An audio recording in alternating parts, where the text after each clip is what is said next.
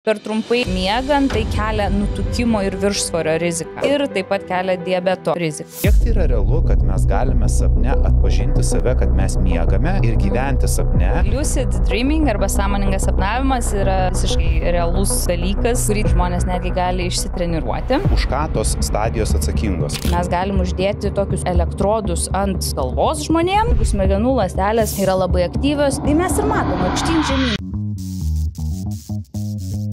Daugiau negu 70 procentų jūsų, žiūrinčių šią laidą, neprinumeruoja mūsų kanalo. Jūs užtruksite tik kelias akimirkas paspaudę subscribe mygtuką. Na, o jeigu jūs norite, kad mūsų kanalas auktų, nepamirškite uždėti like mygtuko po šio video ir parašyti komentarų, bent jau širdutės. Na, o tie, kurie yra nekantrus, tapkite mūsų kanalo nariais ir pamatykite visą turinį kur kas anksčiau nei visi kiti. Ačiū Jums labai. Labą dieną, Laura. Sveiki.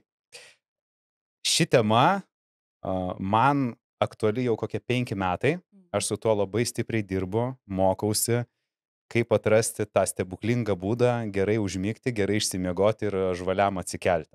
Mm. Tai šiandien mes kalbėsime apie miegą nuo A iki Z, nes manau, kad jūs esate viena geriausių, kuri gali apie tai pakalbėti ir papasakoti ir aš tikiuosi, kad mes šią laidą padėsime žmonėms suprasti, kur yra jų bėda mm. arba galbūt dėl ko jie taip puikiai miega ir galbūt jeigu jie turi tokią bėdą, padėti jiems geriau pagaliau užsimiegoti ir jaustis žvaliai visą likusią dieną. Super. Tai pradžioje aš iš tikrųjų norėčiau pradėti nuo miego stadijų. Hmm. Mes dažnai naudojamės visokiom programėlėm, dabar telefonuose yra tie appsai, kur parodo, kokia miegė tu kiek miegojai. Tai galbūt pa pakalbėkime apie tos skirtumus, kas yra tas core miegas, hmm. REM, REM hmm. ir deep sleep kuo jie skiriasi ir ką jie reiškia. Jo, tai visi žinduoliai, skaitant, na ir žmonės, turi kelių tipų miegą. Tai visų pirma yra du skirtingi miego tipai, tai yra lėtasis miegas arba tas slow sleep, deep sleep, dar mhm. angliškai žinomas kaip non-REM sleep, ir yra tas REM ar REM miegas, dar lietuviškai žinomas kaip greitasis miegas, ar netgi žinomas kaip paradoksalus miegas. Mm. Dabar to lėtojo miego ar to non-REM, NREM miego mes turime tris stadijas skirtingas. Stadija pirmą, antrą, trečią. Ir čia labai paprastai viskas priklauso nuo miego gylio. Mes, kai nueinam miegoti, atsigulam į lovą, mes visų pirma įeiname į non-REM tą pirmą stadiją. Tai yra pati paviršutiniškiausia miego stadija, mes joje praleidžiam tam porą minučių, labai lengvai iš jos galima prabusti. Tada po kokių penkių minučių mes jau einam į non-REM stadiją antrą. Čia yra tok, tokio tipo miegas, kur mes praleidžiam didžiąją dalį nakties, apie 50 procentų. Mm. Tai čia toks nei paviršutiniškas, nei tas pats gilusis. Ir tuomet mes pereinam į lėtojo miego ar non-REM miego trečią stadiją, pačią tą giliausią, pačią atstatomiausią. Čia dažniausiai šitas miegas dar yra žinomas kaip tas deep sleep, gilus, gilusis miegas. Ten mes praleidžiam apie 20 procentų nakties. 20 procentų. Mm. Tai tu, turėčiau aš tiek praleisti, nes, pavyzdžiui, aš save seku ir aš deep sleep'e tiek neišmiegu, aš iš 7-8 valandų išmiegu valandą. Čia mes dar pašnekėsim apie tuos sėkimus visus. 20 procentų. Ar išmiegi ar neišmiegi. Okay. Aš esu praktiškai įsitikinus, kad išmiegi. Ir po tų lietojo miego 1, 2, 3 pereinam į REM miegą. Mhm. Ir va šitas perėjimas per visas šitas miego stadijas vadinasi miego ciklas. Vienas miego ciklas. Jis trunka apie 90 minučių. Ir čia reikia pabrėžti tą apie, nes niekada jis turbūt ir netrunka 90 minučių, bet jis trunka kažkur nuo 70 minučių iki 110 minučių. Hmm. Prasidedant nakčiai, pirmas e, miego ciklas būna trumpesnis ir po truputį ilgėja. Ir mes čia kažkur per 3, 4, 5 miego ciklus, va taip pracikluojam per nakties. vieną naktį. Taip. taip. O dabar, sakykit, ten jūs paminėjot pirmas dvi minutės. Aš pastebėjau e, ne tik iš savęs, bet uh, ir draugė, vat, kai mm. užmyginėja, tos pirmos penkios minutės būna uh, toksai kūno sudrebėjimas, trukčiojimas. Kas čia vyksta? Jo, labai geras klausimas. Tiesą sakant, tiksliai mes kaip ir nežinom. Čia dar toks labiau mokslinis pavadinimas yra miokloniniai raumenų trūkčiojimai ar spazmai, dar kai kurie vadina. Yra tokia labai smagi teorija, bet vėlgi teorija, nes mes nežinom, kad čia yra tokia kaip evoliucinė liekana iš tų laikų, kai mes dar mėgojom medžiuose ir kad vat, prieš užmiegant kažkaip sutrūkčiau ir vat, pasižiūriu, ar tu ten stabiliai tą medį sėdi, nes jeigu nestabiliai, tai nukrisi ir tada Aha. reikia geriau įsitaisyti tą medį. Bet daugiau, dar gal m, kai kurie pastebi, kad tų trūkčiojimų yra šiek tiek daugiau po na, stresinės dienos ar po daug fizinio darbo būna, bet kažkokia tiksli jų funkcija, reikšmė, tai kiek teko domėtis, nėra aiški. Mhm. O tai jeigu mes taip grįžtume prie tų miego stadijų, kas vyksta su mūsų smegenim? Vat būtent už ką tos stadijos atsakingos. Mm. Ne? Tai kaip ir sakėt, deep sleep tai yra ten, kur yra svarbiausia atstutomoji. Reiškia, mm. kuo aš mm. ilgiau deep sleep'e miegu, tuo mm. aš uh, geriau atsistatau po visos darbo dienos ir aš mm. kitą dieną žvaliau jausios. Mm. Tada kuo kitos stadijos mm. yra svarbios? Jo, tai čia dar truputį mažiuką tokį komentarą pasakysiu, kad svarbiausia iš tikrųjų yra labai normalu galvoti ir labai dažnas galvoja, kad, aha, išgirdėjau, kad va, deep sleep pats svarbiausias, tai va, fokusuojuosi ir man svarbiausia deep mhm. sleep.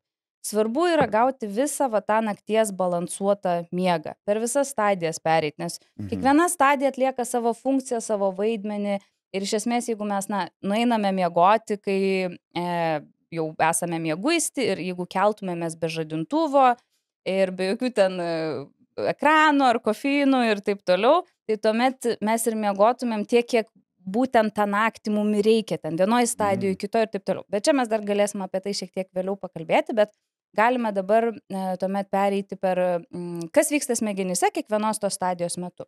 Tai čia dar svarbu pasakyti, kad tiesą sakant, tos miego stadijos ir yra įvertinamos ar kategorizuojamos remiantis smegenų veikla. Tai pavyzdžiui, mes galim uždėti tokius jutiklius ar elektrodus ant galvos žmonėm ir tuomet tie elektrodai tarytum girdi mūsų smegenų lastelių pašnekesius ar pokalbius, ar ką veikia tos smegenų lastelės. Ir tuomet, ką mes matom, iš esmės tai yra tokios bangos. Tai, pavyzdžiui, jeigu smegenų lastelės yra labai aktyvios ir ten siunčia signalus, tai mes ir matom aukštyn žemyn ten signalas siunčiamas, ar lastelės nutyla, ar signalas siunčiamas, ar e, nutyla. Ir ką mes ir matome, kad e, vieno miego metu lastelių aktyvumas yra vienoks, kito miego metu jis yra kitoks. Tai pavyzdžiui, lėtojo, to gilaus, gilaus lėtojo miego metu, trečioje stadijoje, mes matom labai labai gražias tokias didžiulės bangas, lėtas, didelės amplitudės bangas. Tai reiškia, kad smegenyse vyksta, tiesą sakant, žiauriai fainas procesas, kad daug, daug, daug smegenų lastelių tarytum susivienyje ir siunčia signalą vienu metu. Už tai jisai toksai didžiulis, nes visi mm. kartu vienu metu. Ir jos tada nutyla ir ta banga leidžiasi. Ir jos vėl siunčia signalą, vėl ta banga kyla, leidžiasi. Ir čia dar mes pakalbėsim vėliau šiek tiek apie mm, šitos bangos yra svarbios mūsų atminčiai. Jos tarytum perkelia mūsų trumpalaikę atmintį į ilgalaikę. Bet tuomet REM miego metu, greitojo miego metu, čia tas antras miego tipas, smegenų aktyvumas labai stipriai pasikeičia ir tampa panašus į smegenų aktyvumą mums budraujant, nemiegant. Va, pavyzdžiui, dabar mes su tavim sėdim ir jeigu mums uždėtų kas nors elektrodus ant galvos, mes matytumėm tokias padrikas, nesinchronizuotas smegenų bangas, nes daug skirtingų smegenų procesų vyksta vienu metu, skirtingose smegenų dalyse yra siunčiami skirtingi signalai. Mm. Tai remiegiai išeina mes e, realiai kažką tai mastom, kažką tai darom, ten sapnuojam, ne? Uh, žodžiu, galvoj mm -hmm. vyksta reikalai. Taip, tikrai taip. Ir tiesą sakant, čia irgi uh, tos tipinės REM miego bangos, kurios yra aptinkamos ir kad jos tokios panašios į smegenų bangas aptinkamas nemiegančiose smegenyse, dėl to tas REM miegas ir vadinamas paradoksiniu. Nes jeigu tu žiūrėtum tik į smegenų bangas, praktiškai būtų neįmanoma atskirti, ar žmogus yra prabudęs, ar žmogus yra remiegė. Mm. Ir tos smegenų bangos ir, ir manoma, kad yra susijusios, na, vat, su to, kad mes ten vat, sapnuojam, tai tarytum kitoks realybės patyrimas e, ir būtent remiego metu vyksta kiti su atmintim susiję procesai, kurie irgi gali būti susiję su tokia. O veikla. kaip su visais tais devaisais, e, nu, kad ir vat, mm. laikrodžiai, ten tie apyrankės, tos vupai, dar kažkas, visi tie mm. sleep cycle yra programėlės. Ja. Ir ten yra tokia e, viena grafa raudona, kur būna awake, kad aš prabudau. Mm. Ir, pavyzdžiui, būna naktų, kai rašo, kad aš prabudau ten penkis kartus. Mm -hmm. Bet aš, pavyzdžiui, neprisimenu, kad aš būčiau prabudęs. Tai a, čia aš galvoju, kad mane apgaudinėja. ar ar kaip, kaip, su, kaip, pamatuoja, kad aš prabudau ir Mhm. realiai aš prabundu naktį dėl kažkokių tai garsų ar dėl kokių priežasčių tas įvyksta. Mm. Ar, Jo. ar čia tiesiok melas yra, vat mane apgauna. Melas apgavo, kažkas Nes aš tai negerai. neprisimenu. Jo, ir labai gerai, kad neprisimint, tiesą sakant. Tai nak- naktį prabusti keletą kartų yra visiškai normalu. Ir yra, tiesą sakant, netgi natūrali miego ciklo dalis. Mm. Mes labai dažnai prabundame, miego ciklas, vat, po REM miego labai dažnai užsibaigia, tiesą sakant, mikroprabudimu. Tai čia netgi angliškai vadinasi microarousal ar microawakening, tai mikroprabudimas. Tai trunka keletą sekundžių, kartais keletą minučių ir žmonės labai dažnai net neprisimena jų. Čia vis, viskas yra normalu, viskas ok.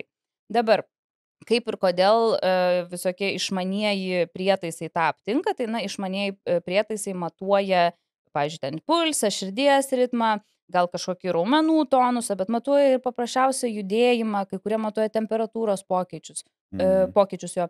Ir kai mes prabundame, dažniausiai pajudam. Ir tada laikrodis aptinka. Bet čia vienas iš tų aspektų, e, kur yra labai svarbu per daug nepasitikėti tais laikrodžiais. Nes dabar Mm. jūs įsivaizduokit, jūs mėgat su partneriu ir apsikabinę, ne? Ir partneris pajuda ir pajudina jūsų ranką. Nu tai ne jūs pajudėjot, ne jūs atsibudot, O ne? laikrodis fiksuos kaip judesi. O laikrodis taigi juda. A, Ane? supratau. Jo. Geras. Mm. Aš trumpam noriu atsitraukti nuo laidos ir paklausti jūsų, ar kada nors atsigulę į lovą negalėjote užmigti dėl minčių srauto, o galbūt net kėlėtės ryte jausdamėsi dar labiau pavargę nei prieš miegą. Nuolatinis Oh. stresas, įtampa ir nemiga tampa vis dažnesnė šio laikinio gyvenimo palidovė. Kai miegas tampa prabanga, randame tai, kas svarbiausia, o tai yra kokybiškas poilsis, kuris reikalingas fiziniai ir psichiniai sveikatai palaikyti. Švenčionių vaistažolės, seniausias lietuviškas vaistažolių gamintojas, puoselintis tradicijas ir siūlantis natūrales priemonės jūsų savijautai pagerinti nuo 1883 metų. Nauja neurolinija tai išskirtinai natūralių produktų kolekcija, sukurta padėti suvaldyti stresą ir pagerinti miego kokybę. Kiekvienas produktas buvo kruopšiai parengtas fitoterapeutų, atsižvelgiant į žmonių kasdieninius poreikius. Kuo ypatingi neuroproduktai? Jie ne tik ramina nervų sistemą, bet ir mažina įtampą, natūraliai gerina miegą, padėdami jums atsipalaiduoti po sunkios dienos. Produktų formų įvairovė leidžia pasirinkti labiausiai tinkantį sprendimą pagal jūsų individualų gyvenimo būdą, net išrankiausiam vartotojui. Neuro 3 arbata - švelnus ir rankomis surinktų vaistažolių derinys skirtas raminančiam poveikiu prieš miegą. Neuro guminukai su melatoninu - gardus ir patogus būdas greitai pasiruošti poilsiui, dar atstoja ir skanų desertą. Neuro 3 lašai miegui - efektyvi ir lengvai dozuojama formulė, kuri užtikrina ramesnį ir kokybiškesnį miegą. Ir naujiena - neuro perdegus - tai trijų žingsnių sistema - rytinės, dieninės ir vakarinės kapsulės palaiko energiją ir padeda pasiruošti kokybiškam nakties poilsiui. Rytais užkuria energijai, dieną suvaldo nerimą, o vakare paruošia miegui. Trys kapsulės kiekvienam atveju dienoje. Kągi, su neuroproduktais atrasite harmoniją tarp kasdienio gyvenimo ir kokybiško poilsio. Nes kai geriau miegame, geriau jaučiamės ir gyvename. Na, o mes grįžtame atgal prie laidos, būtent apie tai, apie miegą. O dabar jūs minėjote apie jau deep sleep, kad 20 procentų. O kiek, e, tai išeina 20 procentų deep sleep, 50 procentų REM, Mm. e, kokius penkis kartus prabusti yra normalu po minutę. Mm. Ką dar turėtume žinot, kad e, jau kitą kartą analizuodami miegą nesigazdintume. Jo. E, Kas yra, vat, pavyzdžiui, deep sleep blogai? Tarkime, kiek yra blogai miegoti deep sleepui, Jo. kuris, kad aš tiek miegodamas žinočiau, kad, na, va, trūksta, kažką tai reikia keisti ir kažką daryti, kad aš turbūt neišsimiegu ir man trūksta to miego. mm. Vis tiek, nu, plius minus e, tie laikrodžiai ir kažkas parodo bent jau um, taip Mm. apytiksliai, kas vyksta su manim. Mm. Taip, tai e, visų pirma, tai mes e, naktį praleidžiam apie, e, tam giliam, giliam miegė apie 20 procentų, tada vadinasi paviršutinis lėtasis miegas apie 50 procentų, rem miegė apie 25 procentus. Tai čia plius minus taip. Um, dabar, tas klausimas, kiek vat reiktų miegot, kiek, kiek e, turėčiau praleisti giliame miegė, kiek turėčiau praleisti rem miegė. Čia tiesą sakant yra labai daug lankstumo. Ir, pavyzdžiui, jeigu mes pamatuotumėm, uh, va, žmogus normaliai paprastai miega savo lovui, vėl mes užklijuojam jam tos elektrodus, matuojam jo miegą, tai vieną naktį galbūt jisai praleis 10 procentų gilią miegę. Kitą, kitą naktį gal jisai praleis 20 ar 25 ar 30. Yra didelė na, amplitudė, tikrai Mhm. varijuoja. Čia viskas yra vidutiniškai, kad vidutiniškai paėmus, nežinau, mėnesius, metus, Mm. vidutiniškai praleis tiek tam miegė, tiek tam miegė, tiek tam. Už tai tikrai nerekomenduoju kasdieną žiūrėti, ar va tą dieną buvo tiksliai va tas skaičiukas. Mm. Nes kūnas, kūnas geriau žino dažniausiai negu mes, taip sakant. Ir labai priklausomai nuo mūsų dieninės veiklos ir žiūrės, ar mums gal tą naktį labiau reikia gilaus miego šiek tiek. Gal labiau rem miego, gal ten to miego ir taip toliau. Tai Mhm. mm. šiek tiek būtų lyguista kiekvieną dieną sekti, geriau reiktų žiūrėti vidurkį Jo, a, mėnesio eigoje, kaip Jo. viskas vyksta, taip? Tikrai taip, šiek tiek ramiau, čia labai suprantama. Aš tiesą sakant, jeigu galima pastebėti, kad aš turiu labai paprastą laikrodį, nes aš negaliu turėti tų laikrodžių, nes aš labai obsesyviai pradedu A, žiūrėti irgi supratau. kasdieną, sekti ir čia netgi, va, aš žinau, aš, na, faktus tos žinau, bet, nu vis tiek tas Aš irgi anksčiau neturėjau įpročio, kai įsigijau laikrodį, pradėjau kiekvieną rytą žiūrėti, kaip aš miegojau. Taip. Bet a, jeigu mes grįžtume prie to Mhm. laiko, kiek reikia miegoti, na, visą laiką Mhm. kalbama, visur rašoma, aš pats a, dažnai kažkodėl sakau visiems, kad reikia tarp 7-8 valandų Jo, jo, miegoti. jo. Bet girdėjau, kad jūs sakėt, kad a, geriausia miegoti keltis be žadintuvo. Mm. Tada miegotume tiek, kiek kūnas reikalauja, taip? Jo, jo, jo. Taigi, e, galim trupučiuką dabar pas, pasikalbėti, nuo ko priklauso, kiek naktį reikės miego. O, E, jo, netgi taip. netgi Nuo ko taip. priklauso? Taip, o priklauso nuo labai labai daug dalykų. Tai dėl to labai dažnai tose rekomendacijose nėra sakoma, kad būtinai miegoti 8 valandas, nei minutę daugiau, nei minutę mažiau. Mhm. Yra duodama pakankamai didelė amplitudė, ne, kad miegoti rekomenduojama suaugusiam sveikam žmogui nuo 7 iki 9 valandų kas naktį. Čia dar norėčiau truputį patikslinti, kad e, šitie tyrimai yra atlikti, e, na, tokiu tipu, kad čia yra skaičiuojamas laikas lovoje iš esmės. Žmogus nuėjo atsigulę, kažkiek užtruko užmigti, gal ten naktį truputį prabudimų buvo ir iki kol žmogus pakilo iš lovos. Ai, tai čia ne tik miego laikas, Ne. čia net ir pa- pagulėjimų lovai. Taip, ne tai, kad tu ten, aišku, nueisi žiūrėsi Netflixą valandą, bet, na, su to užmigimu. Štai valandą jau kaip nu, va, būtent, pamėgom. Bet iš esmės, jeigu matuojame tą gryną, gryną miegą, tai tas išsitransliuotų iki 6, 6-8 valandos gryno miego kas naktį. Gerai, Mhm. o jeigu žmogus yra labai fiziškai aktyvus, sportuoja daug, daug Va. vaikšto, na, įsivaizduokim, penkios treniruotės per savaitę, a, Mhm. 15-20 tūkstančių žingsnių į dieną, Mm. a, protinis darbas. Ir kitas žmogus šalia, Mhm. visiškai nesportuojantis fiziškai, dirbo ofisinį darbą, gal ir po 12 valandų, bet a, aktyvumo nėra. Mhm. Suvaikšto ten 2-3 tūkstančių žingsnių a, ir irgi protinis darbas, Mhm. bet a, fizinio krūvio nėra. Ar jiems miegas vienodas, nes čia mes sakom, suaugusiam žmogui, abu suaugę, Taip. bet jų aktyvumai, gyvenimo būdas skiriasi, ar jie turėtų vienodai žiūrėti į miegą, ar kažkiek skirtingai? Superinis klausimas. E, iš esmės visiems, nesuaugusiam žmonėm, tai kaip sakau, plus minus reikia 6-8 valandų, bet čia yra va ta 2 valandų ne amplitudė.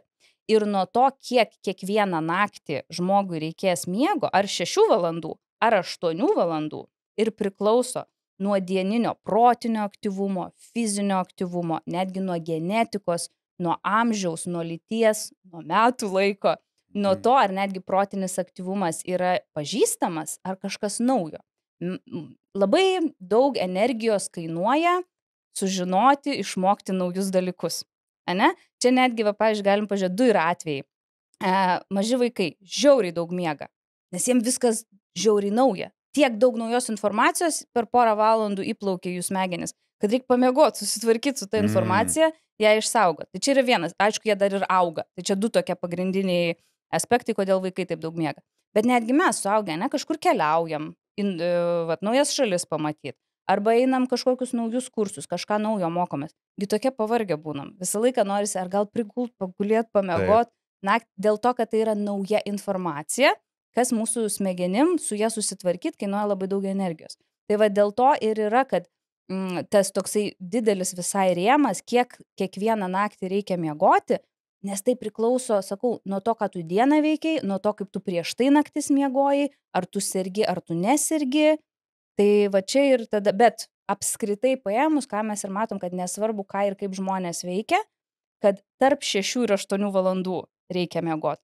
Jeigu miegi mažiau, sveikata prastėja, jeigu miegi daugiau, irgi kažkaip tai yra susijęs su prastesnė O sveikata. kodėl būna taip, kad, e, pavyzdžiui, išmiegi 10 valandų Mhm. ir po to jautiesi prašiau? Tai tarsi, nu, miegi po 7-8 valandas ir taip galvoju, galėčiau ilgiau pamiegoti, nes ryte Mhm. keliuosi sunkiai. Mhm. Vat kaip gerai būtų kokių 10 valandų pamiegoti. Išsimiegi tas 10, nu kažkada pasiseka taip, v- Aha. galbūt. Man taip nebūna, aš nesu tiek miegojęs, nežinau kiek metų, bet, Jo. bet jeigu tiek pavyksta bent jau 9 valandas išmiegoti, kas yra neįprasta man asmeniškai, Mm. Aš atsikeliu kažkoks ir galvas skauda, ir toksai apmygęs labiau ir nesuprantu, aš jaučiuosi žvalesnis, kai mažiau pamiegu. Mm. A- Ar čia yra kažkoks persimiegojimas, gali būti Mm. toksai dalykas? Gali, gali, aš tiesiog nežinau, kaip moksliškai gal pa- paaiškinti tą, tą žodį persimiegojimas. Bet priežasčių gali būti daug ir įvairiausių, bet viena, kuri, manau, kad didžiausią rolę čia atlieka, tai kad išsiderina miego ciklas ar tie miego laikai, nes, na, dažniausiai tu e, eini miegoti vienu metu, keliesi kažkokiu kitu metu. Esi... Kažkokia rutina yra vis tiek. Taip, taip. Ir jeigu tu jau miegi 2-3 valandas e, daugiau, pavyzdžiui, tai dažniausiai arba tu nuėjai miegoti kitokiu laiku, bet dažniausiai tu atsikėlai žymiai vėliau, negu esi Mhm. įpratęs. Ir tas išderina tą mūsų na, biologinį laikrodį cirkadinį ritmą. E, ir tuomet, pavyzdžiui, mūsų kūnas smegenis, jie e, yra įpratę, kad, va, pavyzdžiui, šitas žmogus keliasi, nu, septintą. Ir tuomet jau smegenis kūnas žino, kada kokias medžiagas išskirti, kad tave prabudinti, kad paruošti dienai, kad ten suaktyvinti raumenis, pražvalinti. Ir kūnas smegenis tą padaro, tau septinto, tu dar tris valandas lovai guli. A. Ir tada tam tikri biologiniai procesai vyksta ne laiku ir ne vietoj, čia kaip mašina kitą pavarą važiuoti, netinkama Mhm. vienu žodžiu.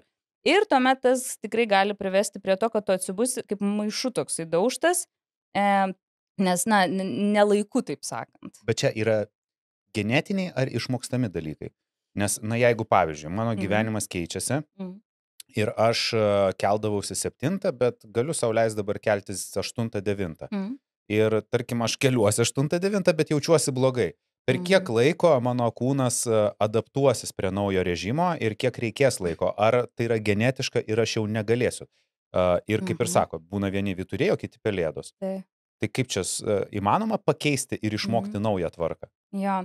Um, ir taip ir ne, labai užknisantis atsakymas, labai suprantu, bet kai kuriems žmonėms labai lengva yra pakeisti savo miego ritmą. Ar eiti anksčiau ar vėliau miegoti, ar anksčiau ar vėliau keltis. Kai kuriems žmonėms yra praktiškai neįmanoma to padaryti. Ir tada visa žmonija yra tarp šitų dviejų Mm. ekstremalių, taip sakant, vietų kažkur šitam spektre. Kai kuriems lengviau, kai kuriems sunkiau.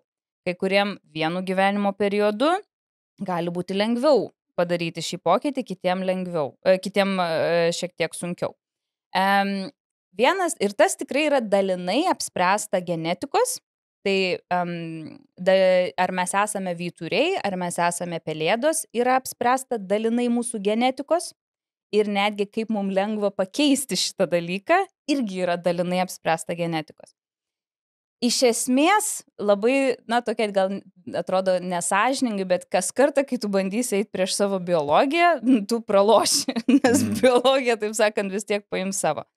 Bet su laiku, mažais pokyčiais, kantrybė, galima padaryti, na, kažkokių tai pokyčių, kad bus, na, lengviau.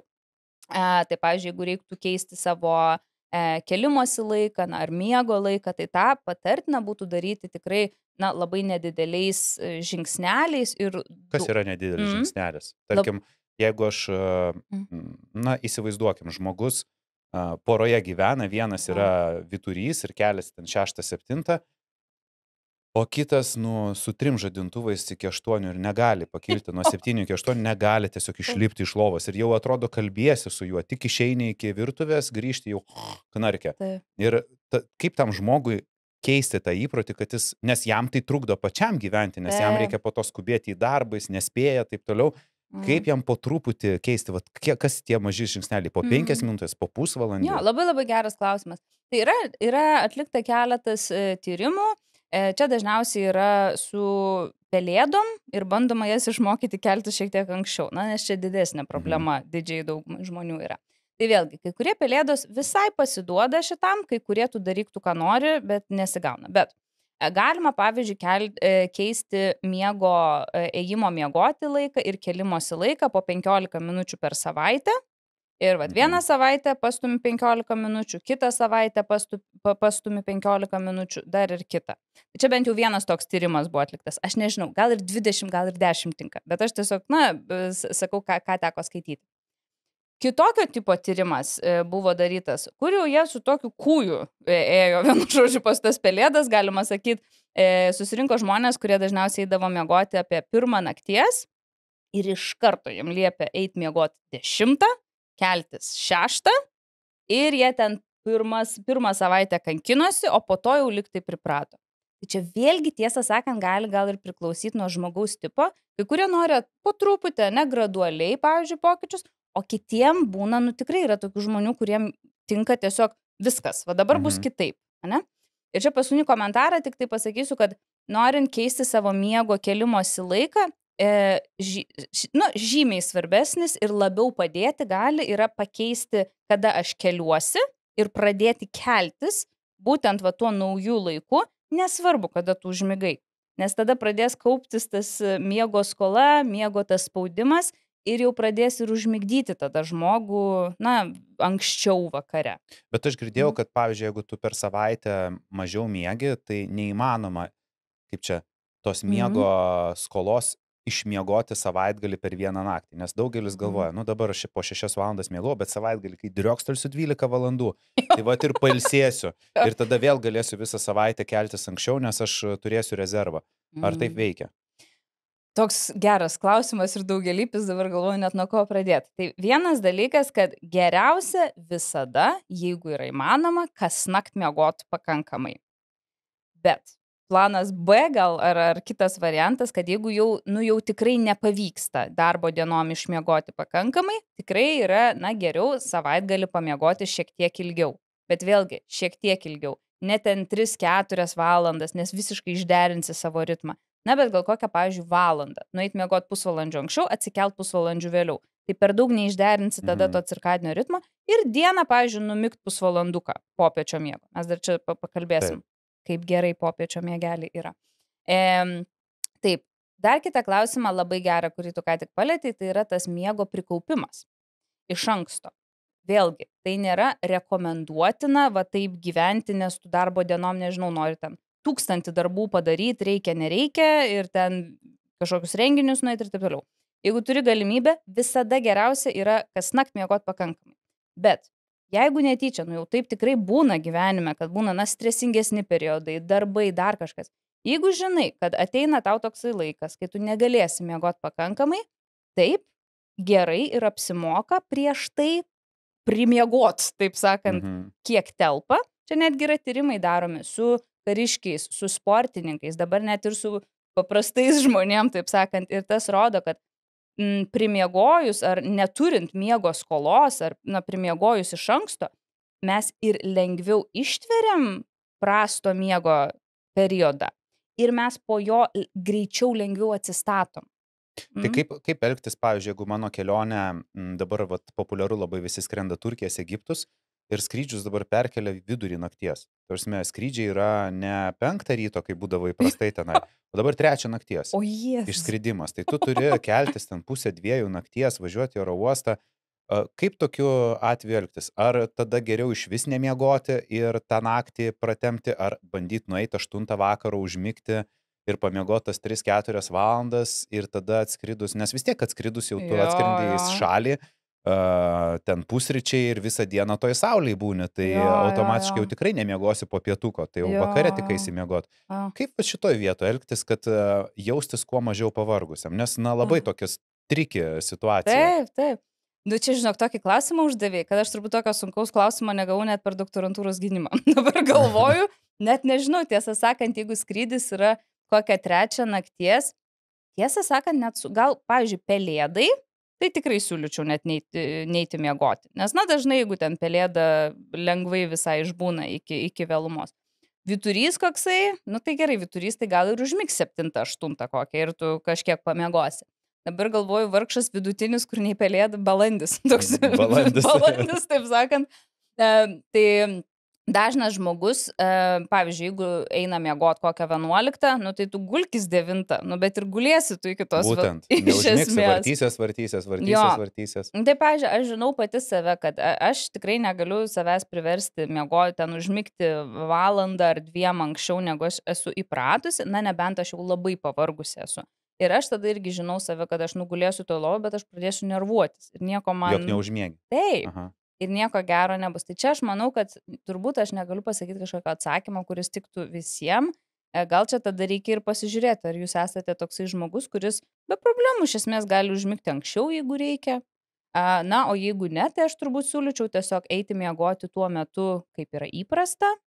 E, kelt, nu jau tada gaunasi pamiegoti pusvalandį, valandą, dvi, nu jau kiek gaunasi Mhm. kad gal per daug to miego kelimosi ritmo neišderinti. Aišku, ten gausis, kad tu naktį skrendi, nu, bet tada jau kitą dieną vėl eiti miegoti įprastų laikų, keltis įprastų laikų. Svarbu, svarbu, kad būtų išlaikytas tas įprasto laiko režimas. Taip, taip. Mhm. Čia tiesą sakant, dar tokį trumpą, bet to, toks geras visai komentaras, kuris man labai patiko. e, Dažnas klausia, ką daryti, vat, jeigu vat, naktį nemegojau, negalėjau užmigti, neužmigau, bet vat, vie- viena naktis. Šiaip gerai miego, ne, bet ką vat, geriausia daryti po bemiegės nakties? O geriausia yra nieko nedaryti, nieko nekeisti. Tiesiog e, atsikelti, kada dažniausiai yra keliamasi, dienos kažkokių veiklų irgi per daug e, nekaitalioti ir, ir vakariai irgi eiti. Grinai, kad neišderinto savo rutinos. Nestresuoti dėl tos nemigos naktį Taip. ir gyventi įprastą gyvenimą, Taip. taip pat sportuoti, taip pat dirbti, viską daryti, kaip, da, kaip turėtum daryti. Uh, ir tiesiog kitą dieną elgtis taip, lyg nieko nebuvo. Taip, bet čia aš dar kartą pabrėžiu, kad tai yra, na, viena kažkokia pavienė Mhm. bemiegė naktis. Aš nekalbu apie nemigą ar kažkokius sutrikimus. Jo, jo. Nes būna žmonių, kurie uh, iš tikrųjų vieną tokią naktį turi ir pradeda labai nerimauti, kad kažkas tai įvyko ir tada išsivysto kažkokios tai baimės, Jo. stresas ir daug visokių minčių prisigalvoja, kad jau kažkas blogai. Taip, Mhm. taip. Čia netgi ir tada pradedi keisti viską. Keltis ten vėliau, gal pamiegot dieną, nors nieko to nedarai, gal ten atšauki kažką, pradedi labai kitaip elgtis. O mūsų smegenim ir kūnui visokie pokyčiai iš esmės yra stresas.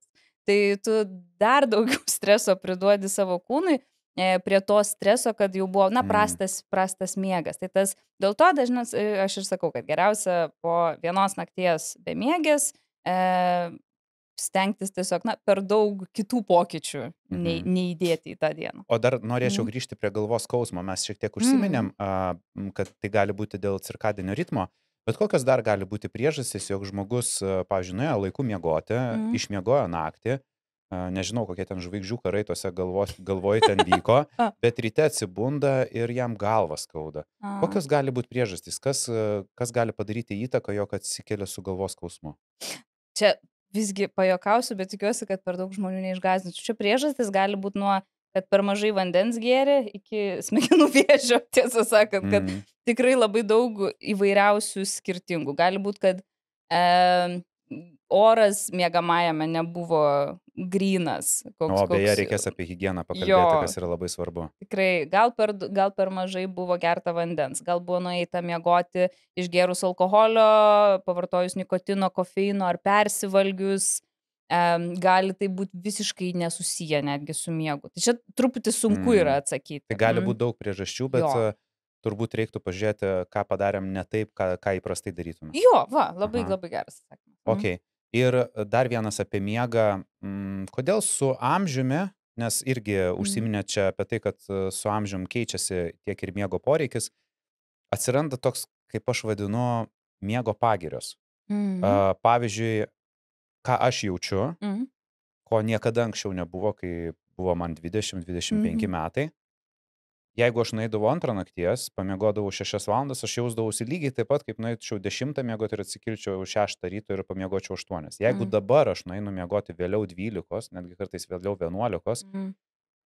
kitą dieną aš jaučiuosi lyg aš kažkokias pagirias turėčiau, kažkaip viskas ne taip. Ar tai vėl Mhm. dėl to, dėl to pačio cirkadinio ritmo, ar, bet kodėl toks jautrus organizmas pasidaro su amžiumi? Kodėl, a- Mhm. ar tai reiškia, kad visų amžiam reikia dar griežčiau laikytis kažko tai režimo? Mm, labai geras klausimas. Tai taip, e, iš esmės, kuo kuo senin, tuo blogin. Čia aš aišku juokauju, bet nes amžiumi vyksta įvairiausi, na, degeneraciniai procesai. Dar aš, aš nežinau, ar čia, e, taip sakant, mūsų amžiui labai tas yra aktualu, bet, nu, aš, aš irgi jaučiu tokius dalykus, ne?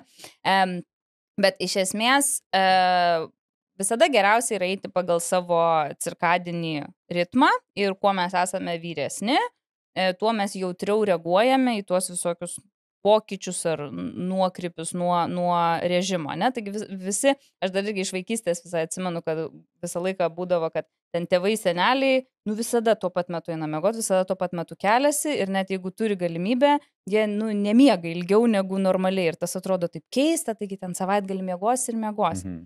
Na, nes su amžium dar vienas dalykas, kad jau tiek metų besilaikant kažkokio ritmo, jau yra tas toks net, nu, biologinis net įpratimas, kurį pakeisti yra sunku ir nuo kurio va truputį nukrypus jaučiasi žymiai labiau e, tie padariniai, ką, ką mes ir jaučiam. Mhm. Dar truputį kitas komentaras, kad su amžiumi, e, taip vidutiniškai paėmus žmonių populiacija, su amžiumi keičiasi ir mūsų, na, chronotipas, Tai chronotipas e, apibūdina, ar mes esame vyturiai, ar mes esame pelėdos. Tai pavyzdžiui, vaikai, e, kuo e, vaikai yra, na, iš pat pradžių tai net nelabai turi kažkokį tai aišku chronotipą, šiaip jie yra daugiau vyturiai ir tuomet paaugliai patampa labai pelėdom. Vėlai eina miegoti, vėlai keliasi ir tuomet jau paaugliai, kai išeina iš paauglystės ir jau įeina į saugystę, vis po truputį labiau vyturiai, vyturiai, vyturiai ir kuo mes vyresni, tuo mes labiau ankstėjam. Mm. Tai čia na, yra tokios tendencijos. Ir čia, e, tarsi, daug, didžiai daugumai populacijos taip. Taip, vyksta? taip, jeigu na taip tokį vidu, vidutiniškai mm -hmm. paėmus didžiai daugumai žmonių. Nes aš ja. pastebėjau, kad ten vyresni žmonės, ten 60, 70, 80 metų, mm. tai jie kažkaip tai ir anksčiau eina miegoti, bet ir jie naktį net atsikelia kokį ketvirtą. Aš ten girdžiu, a, iš mhm. senyvo amžiaus žmonių sako, ai, tai aš keturias valandas pamiegu, naktį atsibundu, knygą skaitau, ten po to mhm. ryte vėl valandėlį užmiegu, jiems čia atrodo, kad normalu, o dabar mm. taip mhm. pasakytum kokiam 30 mečiui, kad čia yeah. normalu, sakytų, ką, čia kažkas jau negerai. Jo, jo. tai čia visiškai normalu, kad su amžiumi ir miego reikia mažiau. Mm. Ir, ir tas uh, ankstyvas atsikelimas yra irgi norma. Mm. Labai džiaugiuosi, kad klausai ar, ar pasakėjai, kad ar, ar tikrai yra taip, kad su amžiumi miego reikia mažiau. Nes čia yra tikrai vienas turbūt iš plačiausiai paplitusių tokių miego mitų, pavadinkime. Mhm. E, su amžiumi nėra taip, kad miego reikia mažiau. Kai jau tu patampi suaugęs žmogus, nu dabar jau šiais laikais gal skaitykim nuo 30 metų ir iki, iki jau ten kiek metų gaunasi, iš esmės visiems reikia tų pačių 7-9 valandų lovaino mhm. ar 6-8 valandų grino miego. Dabar, kodėl gali atrodyti, kad senioram reikia mažiau miego, tai yra paprasčiausiai, nes jiem neišeina išmiegoti jau tiek, kiek iš esmės reiktų. O neišeina išmiegoti dėl įvairių degeneracinių procesų, kurie vyksta su senatve. Tai yra ir įvairios smegenų lastelės, pavyzdžiui, tuose smegenų centruose, kurie reguliuoja miegą. Tai yra ir sunkiau užmigti, ir sunkiau generuoti gilų miegą, Tai reiškia, seniorai miega paviršutiniškiau ir juos netgi lengviau, na, jie atsikelia nuo mažesnių trikdžių. Taip pat jau su, su amžiumi vis tiek kaupėsi kažkokie sveikatos sutrikimai, kurie, na, kaip a, antrinė priežastim gali prisidėti prie blogo miego, ar kas skauda, ar nepatogu, vaistus kažkokius reikia naudoti, kurie dažnai irgi daro įtaką miegui. Tai jiem reikia to miego. Tiesą sakant, aš sakyčiau, kad senioram netgi labiau reikia daugiau to miego negu paprastam vidutiniam suaugusiam, bet tiesiog nebesigauna. Ir čia paskutinis mažiukas komentaras, kas aš manau ateis ateityje, dabar jau yra daug tyrimų ir netgi na, bandomi gaminti tokie prietaisai įvairi stimulacija, ten ar magnetinė, ar elektrinė, ar garsu, bandoma e, pagerinti, pagilinti seniorų miegą ir taip prisidėti prie jų na, sveikatos gerinimo ir tada net ne to ilgamžiškumo, na, sveiko ilgamžiškumo e, mhm. didinimo. Mhm. Ar tai galima dėti lygybę, kad e, pastovus, kokybiškas miegas yra ilgamžiškumas? Aš rodiklę gal dėčiau ne visišką lygybę, nes daug yra kitų e, svarbių dalykų, bet mie, na, miegas, fizinis aktyvumas, e, dieta, maistas ir streso Susidraugavimas su stresu gal jo yra tikrai tos keturios kojos tokios. E, Mhm. jo. O jeigu Mhm. vienas dar toks niuansas apie miegą, jeigu mes turim prastą miegą, ir iš Mhm. tikrųjų yra nemažai žmonių, kurie aukoja miegą dėl darbų, Taip, taip. a, dirba viršvalandžius, dirba iki vėlyvaus vakaro, tada privalo keltis anksti ryte, nes vaikai, šeima, o galbūt nėra šeimos, bet vis tiek į darbą reikia važiuoti, Jo. Žadintuvas šeštą, kamščiai, taip toliau, vėl visą dieną darbuosi, vėl ten vakare nespėja, vėl prie kompo. Ir tada darbas jau be nebe 8, o 12 valandų. Mhm. O jeigu net ir darbas 12, dar ir vaikai, juos reikia paguldyti ir tada po vaikų kažkoks savo laikas, o Mm. norisi ir savo kažką tai pasidaryti. Jo. Na ir žodžiu, miego yra 5-6 valandos. Ir Jo. taip metai iš metų, metai iš metų. Link ko aš einu? Mhm. Kokios gali būti sveikatos pasiekmes, jeigu mes tokį gyvenimą gyvensime, versus Mhm. Tą gyvenimą, apie kurį kalbėjote, kad reikia išmiegoti 7-9 valandas, Mhm. galbūt net savo sukurti gyvenimą, kad galėtum keltis be žadintuvo, bet tas be žadintuvo kelimas jis būtų sveikas tarp kažkur Mhm. pusės 7-8. Ir kaip, kaip, kaip skirtusi žmogaus sveikatos padariniai šiem Mhm. dviem scenarijais? Labai, labai fainai, kad pateikiai būtent tuos du scenarius, nes ta, na, tada labai aiškus yra tas palyginimas. Ir dar vienas labai svarbus punktas čia, kad e, būtent kartais prastai miegame visi. Kartais tai be blogai miegot, visiškai nieko tokio, visiškai, visiškai ok, visiškai normalu. Nu, netgi, sakyčiau, kartą per savaitę. Jeigu prieš tai ir po to gerai miegi, nu, nieko baisaus, kūnas atsistatys. Dar ne su tuo kūnas mūsų susitvarko. Bet va būtent, va tas lėtinis, chroniškas e, miego nepriteklius, va čia jau kur šiek tiek rimtesnės, na gerokai rimtesnės problemos prasideda, nes iš esmės miegas yra svarbus palaikyti mūsų absoliučiai vis, vis, visą sveikatą, visokiojopą. Fizinę, psichologinę, emocinę, fiziologinę, kiekvienas organas yra žalojamas miego nepritekliaus. Nu kur tu bedursi ten? Skrandis, raumenis, žarnos širdis, plaučiai, smegenis iš viso. E, tai esmė, kad na, miegas yra ta... Mm, Jo, manau, kad geriausia čia būtų paaiškinti maždaug taip, kad dienos metu mes esame va, aktyvūs, patiriam daug stresų, visokių, visokių iššūkių, ne? Vat būtent, ką tu ir sakai, kad važiuojam, dirbam, kažką atliekam, vaikai, taip toliau, taip toliau. Buvimas prabudusiais, tiesą sakant, yra žala mūsų kūnui. Ir tą žalą reikia paskui sutvarkyti, atstatyti. Ir miegas būtent ir yra tas laikas, kai visa per dieną sukaupta žala yra atstatoma. Miegas reikalingas, kad vėl prisukt, sutvarkyti, taip sakant, visą mūsų kūną ir atstatyti gamyklinius parametrus, taip sakant, kad mes ryte atsikėlę vėl pradėtumėm dieną visokiojopai pasiruošę tos dienos iššūkiam.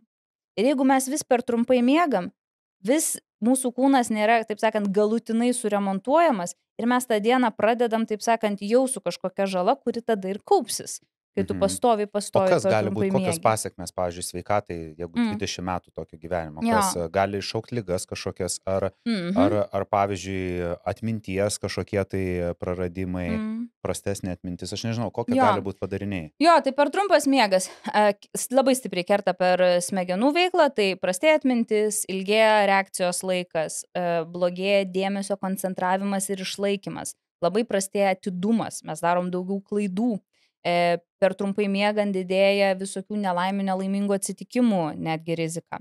Labai kerta per mūsų atsparumą stresui. Jeigu mes esame per trumpai, na, miegojom nepakankamai, šitą, pažiūrėjau, ant savęs žiauriai, žiauriai pastebiu, kad jeigu aš neišsimiegu, nu, mane labai paveikia net maži. Viskas erzina. Viskas erzina ir dar užtrunka kiek laiko atsistatyti po menkiausio kažkokio dalyko. Tai per trumpas miegas taip pat yra susijęs su emociniu nestabilumu. Tai čia mes tik apie smegenis kalbėjom. Taip pat per trumpas miegas labai išreguliuoja mūsų medžiagų apykaitą virškinimą. Tyrimai labai aiškiai rodo, kad žmonės, kurie miega nepakankamai, kitą dieną valgo dažniau, daugiau, renkasi nesveikesnį maistą ir užkandžiauja daugiau. Taip Mm. pat e, per trumpas miegas labai kerta per širdies ir kraujagyslių sistemą. Tai prastėja sveikata didėja, kraujospūdžio aukšto tikimybė didėja, netgi na širdies smūgių ir įvairių kitų dalykų tikimybė. E, Taip pat, e, čia gal tavo būtent auditorijai irgi e, bu- bus labai svarbu, kad su geras miegas yra labai svarbus fizinė, fizinė ištvermė, raumenim, kad atstatytų po fizinės Mhm. veiklos kad išvengti traumų ir kad didinti ištvermę realiai. Tai Mm. aš dabar taip klausau ir galvoju, jeigu pasaulyje pirmoji vietoje mirties priežastis yra širdies ir kraujagyslių lygos, Mhm. a, jau nutukimas ir viršsvoris ir su tuo susijusios problemos irgi jau ir įeina į Jo. top trejetuką mirčių priežasčių.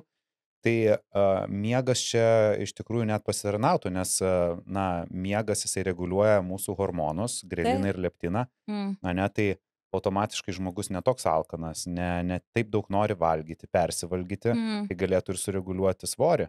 Taip, taip. Tai per trumpas miegas vėlgi yra tyrimai, kurie pakankamai aiškiai parodo tiek, na, koreliaciją, tiek jau e, yra tyrimų, kurie parodo netgi priežastį pasiekme, to- tokį ryšį, kad per trumpai miegant e, e, tai kelia nutukimo ir viršsvorio, viršsvorio riziką. Mhm. Ir taip pat kelia diabeto antro tipo riziką. Oho. A, tai šiek tiek užsiminėt apie atmintį. Mm. Ir a, man labai būtų įdomu a, sužinoti, a, kaip tas miego trūkumas veikia atmintį arba gebėjimą formuoti ir atsiminti informaciją. Ar tie žmonės, kurie, pavyzdžiui, tokią trumpalaikę informaciją užmiršta, žinot, tokie būna užmarštuoliai, kur atrodo pasakėjai arba apvedė aplink namą ir jis jau pamiršo, kuris ir randasi. Ar Mhm. tai yra, vėlgi, gali būti ilgalaikių a, trumpo miego pasiekmių kažkoks tai vaisius, Mm. ar vis dėlto tai yra genetiškai, tiesiog žmogus na tokią atmintį turi. Mm. Ir jeigu toks žmogus pradėtų ilgiau miegoti, ar jisai, ar jisai geriau atsimintų? Jo, jo. Tai e, prastas miegas tikrai yra susijęs su prastesnė atmintim, e, geras miegas yra susijęs su geresnė atmintim. Dabar gali Tai miego būt- trukmė gali padaryti įtaką mūsų atminčiai, netgi, pavyzdžiui, jeigu aš m, praščiau atsimenu, Mm. pradėsiu ilgiau miegoti, kokybiškiau miegoti, pradėsiu į tai daugiau kreipti dėmesio, aš net Mm. gali geriau atsiminsiu dalykus. Taip, jeigu jūs miegat gerai ir pakankamai ir pradėsit ant viršaus ilgiau miegot, greičiausiai nieko nepasikeis. Čia kaip ir su papildais, ne? Jeigu juos A. naudoji, jeigu tau nieko netrūksta. Jeigu prastai tikrųjų- miegu, tada Taip. tik tai. Taip.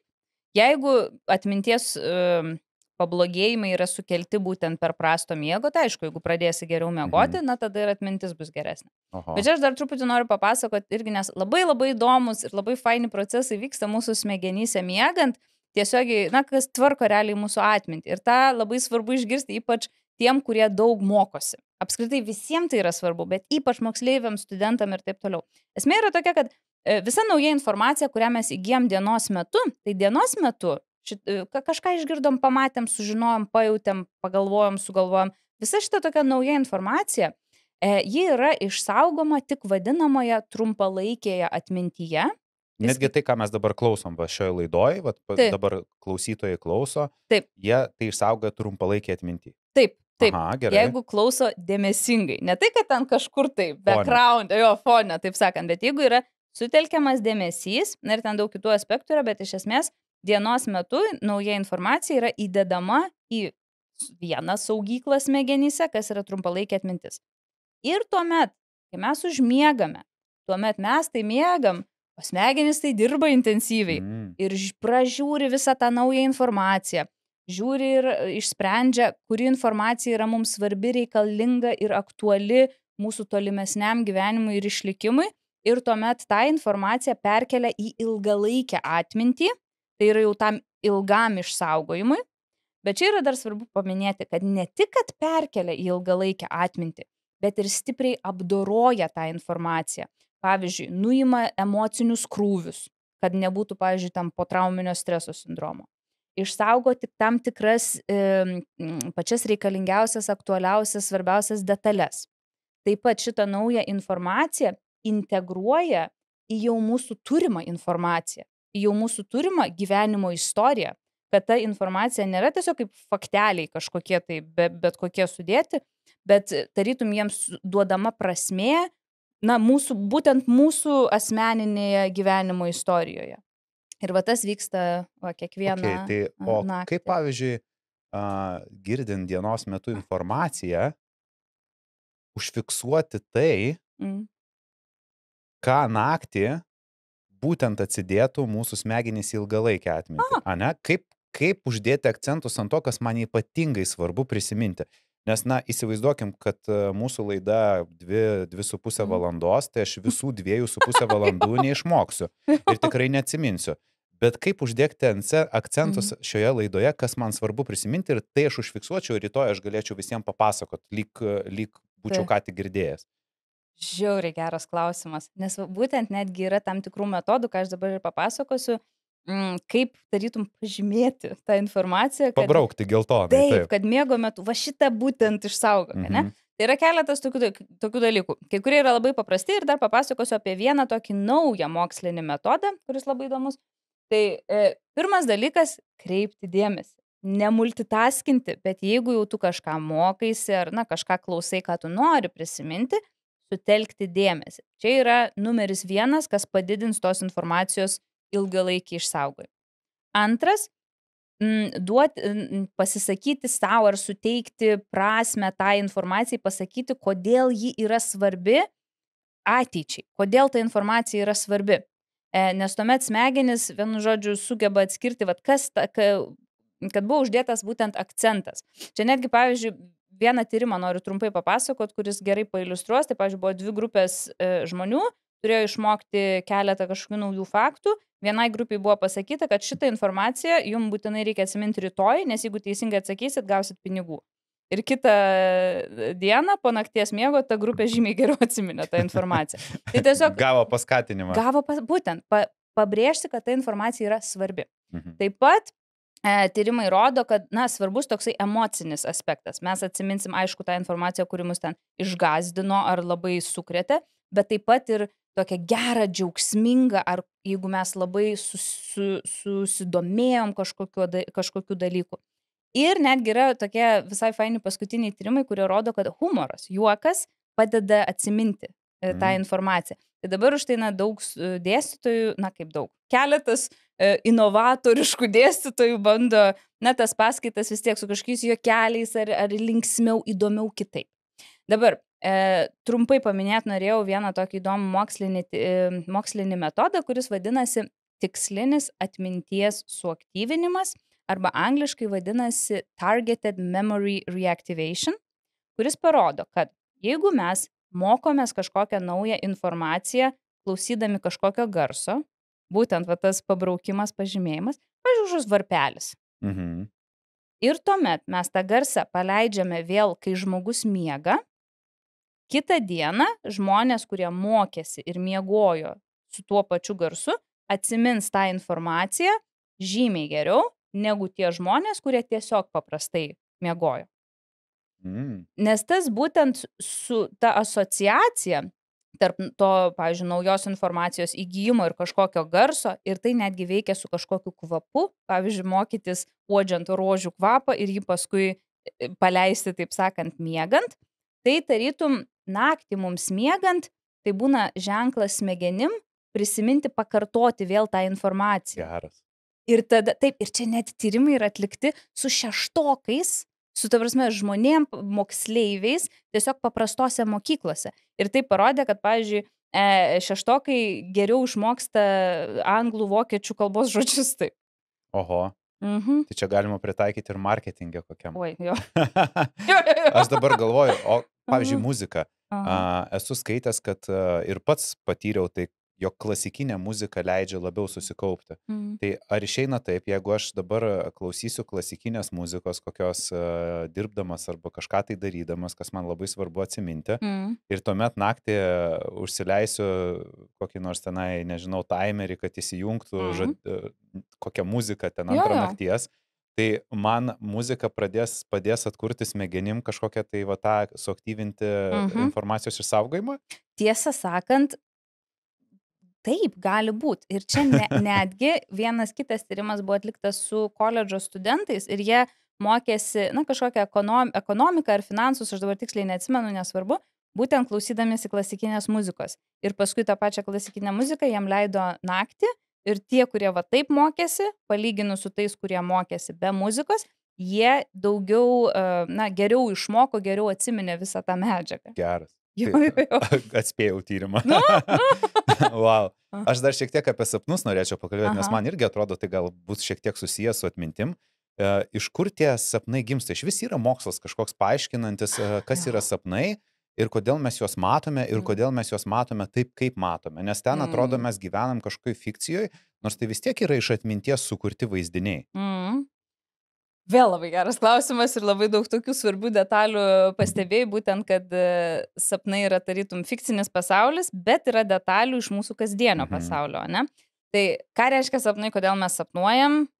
Bent jau mano žiniom, tai mes nežinom ir nieks nežino. Yra labai labai daug įvairių teorijų, kai kurios yra labai palaikomos, kai kurios yra mažiau. Pavyzdžiui, kai kurie mokslininkai iš vis mano, kad sapnai iš vis yra pašalinis tiesiog efektas smegenų lastelių aktyvumui ir kad nieko jie nereiškia, jokios šio funkcijos ar biologinės reikšmės netliek. Mm. Na, bet Tai daug... čia šitoje vietoje Mhm. būrėjai nusivils dabar. Ujo. Ir sapnininkai visokie ten Visi viskas. sapnų Taip. aiškinimai ir taip toliau. Um, bet yra, na, tam tikrų e, kitų sapnų teorijų, pavyzdžiui, e, yra manoma taip pat, kad sapnai, na, tai yra m, REM, mes daugiausiai sapnuojame REM miego metu. Sapnuojame ir lėtojo miego metu, bet žymiai mažiau. Daugiausiai ir vaizdingiausiai REM miego metu. O būtent REM miego metu ir vyksta tas e, mūsų naujų prisiminimų inkorporavimas, įpinimas į jau mūsų turimą atmintį. Tai už tai ir manoma, kad gal na sapnai ir būna tas e, toksai efektas tos naujos informacijos, įpinimo jau mūsų turimą informaciją tai ir gaunasi na tas toks keistas pasaulis, bet kaip ir su dalim šiek tiek mūsų tos kasdienos. Ir ypač būna na, atstovaujama ar reprezentuojama ne kažkokie dieniniai faktai, bet daugiau toks, na, emocinės tos patirtis. Mhm. Ar mes ten stresavom dieną, ar dėl ko, ar dėl kažko džiaugiamės, gal mes apie kažką galvojom, ar, va, pavyzdžiui, ten kit, labai galvojom, kad va, kitą dieną aš eisiu va, pas Artūrą ir aš net podcastą, ne? Nu ir va, sapnuoju aš tada kažką tai tokio. Mm. Um, Jau e, vizualizuojate Taip. ateitį. Taip, Kaip tai vyks, ką darysit, viską. jau bandau at- nuspėti, pasiruošti, taip okei. sakant. Tai va čia, pažiūrėjau, irgi yra kita teorija tų sapnų, bet tokia nelabai gal pa, pa, pa, patvirtinama, kad e, kiti mano, kad gal sapnai yra tarytum tokia saugi aplinka išsitestuoti, bandyti įvairius gyvenimo scenarius, kad tai, na, mhm. Mhm. pasiruošti, taip sakant, į, įvairiem e, gyvenimo atvejam. Ar sapnų kokybė gali nusakyti miego kokybę arba, pavyzdžiui, kaip mes pilsėjom? Nes būna vieni Mhm. sapnai, kuomet tenai atrodo fantazuoja, ten viskas faina, Mm. o kiti sapnai būna tokie sunkus, kur tu realiai ten sprendi problemas a, ir atrodo realias problemas Mhm. sprendi, tai kas gyvenime išgyventų, tu ten Mhm. irgi toliau sprendi tas Jo, problemas. jo, jo. A, Ar tas sapnas kažkaip tai daro įtaką? Kaž... Įdomu, Mm. kodėl jie taip skiriasi. jo. Ir dar kitas klausimas prie to pačio. Mm. Kodėl vieni sapnuoja aiškiai, o kiti, pavyzdžiui, labai neaiškiai. Nes būna Mhm. žmonės e, iš tikrųjų sako, "Oi, mano kiekviena naktis kaip e, filmas. Jo, jo. Tai šitą į antrą klausimą, tai tiesą sakant, nežinau ir nežinau, ar kas nors žino. E, tikrai geras ir labai įdomus pastebėjimas, bet su sapnais, sapnus tirti yra tragiškai sunku. Moksliniam pasauliu netgi yra dažnai sakoma, ar neuromokslų pasauliu, kad na, sapnų tyrimas tai yra career killer, kad na, tavo karjeros žudytojas, taip sakant, nes juos labai sunku mm, moksliškai taip teisingai tirti, nes Mhm. vienas dalykas čia iš karto galima pagalvoti, gerai, žmogus sapnuoja, bet tu apie tos sapnus sužinai tik tai iš to, ką žmogus atsimena apie juos ir kaip žmogus dar papasakoja apie juos. Tai čia keletas filtrų netgi praeina, ta Mm. prasme, nuo tikro sapno. Matyti jų negalim. Taip, būtent. Ne tai kaip daktarė House rodė, kad ten Taip. galima buvo matyti, taip sakant. Mes esam visi matę filmą Inception Taip, su Leonardo DiCaprio. taip. Ir tenai yra būtent e, filmas apie miegą. Aha. Ir ten yra minimi lucid dreams, tai Taip. yra lucid sapnai. Mm. Kiek tai yra realu, kad mes galime sapne atpažinti save, kad mes miegame ir gyventi sapne ir ištemti sapną kaip dieną. Mm. Nes ten filme būtent apie tai kalba. Ir aš po filmo iš tikrųjų domėjausi ir yra teorijų, ir yra knygų, ir yra žmonės, kurie tvirtina, kad jie taip gali daryti ir kad Mhm. jie miegodami supranta, kad jie yra miegę Mm. ir jie ten gyvena gyvenimą. Ir po to vėl užmigdami kitą naktį jie grįžta į, į tą miegą, kuriame buvo ir tęsia savo gyvenimą. Mm. Ir kai kurie net nenori išeiti iš miego. Jo. Ar tai iš viso realu? Jo, jo, jo. Tai lucid dreaming arba sąmoningas sapnavimas yra visiškai realus e, dalykas, e, kurį tiesą sakant e, žmonės netgi gali išsitreniruoti. Tai O. sąmoningas sapnavimas būtent tai yra toksai sapnas, kurio metu žmogus tarytum atsibunda sapne nerealybėj, bet sapne ir suvokia, kad sapnuoja. Ir gali, pavyzdžiui, tai kai kurie žmonės, va, tiesiog atsibunda sapne ir, va, su, supranta, kad jie yra sapne, na ir galbūt iškart, pavyzdžiui, prabunda. Man taip dažniausiai būna. Aš bandžiau, tiesą sakant, išsitreniruoti sąmoningai sapnuoti, bet tada, kai man tik pavykdavo suvokti, kad aš sapne, aš taip apsidžiaugdavau, kad aš iš tų emocijų iškart atsibusdavau. Tai, nu, man tai vienu žodžiu taip ir nepavyko. Bet e, galima išsitreniruoti ir, pavyzdžiui, kai kurie žmonės gali tuomet e, keliauti po sapną, jį žiūrėti, ar, ar kai kurie netgi sugeba su tuo sapnu sąveikauti, tai netgi kurti, paveikti tą sapną. E, visur yra net ir Lietuvoje, pavyzdžiui, yra netgi sąmoningo sapnavimo kaip ir klubai, būreliai, žmonių grupės, teko su kai kuriais šiek tiek kalbėtis. Taip, e, ir čia dabar tu irgi paminėjai vieną tokį aspektą, kad na, visko gali būti per daug. Tai yra atvejų, kai žmonės, na, antiek įninka į tą sąmoningą sapnavimą, kad, pažiūrėjau, netgi pasidaro sunku atskirti realybę nuo sapno. Nes tu sapne prabundi, ne, ir ten tau viena realybė. Ir tu jau nebeatskiri būna realybės nuo sapno. Tai yra tekę. Taip. Taip, tai yra netgi, ne, tai yra teko girdėti apie tokius atvejus. Jie yra labai reti, labai labai, nes čia jau tu turi būti jau na jau arba yra kažkokie sutrikimai e, smegenyse, arba tu jau turi būti toks geras sąmoningas sapnuotojas, jau taip išsitreniravęs, kad, nu, čia, nežinau, kaip genijus, nežinau, ir, ir, ir e, mes turim vieną lietuvių e, mokslininką, Tadą Stumbrį, jisai labai labai daug studijuoja sąmoningus sapnus.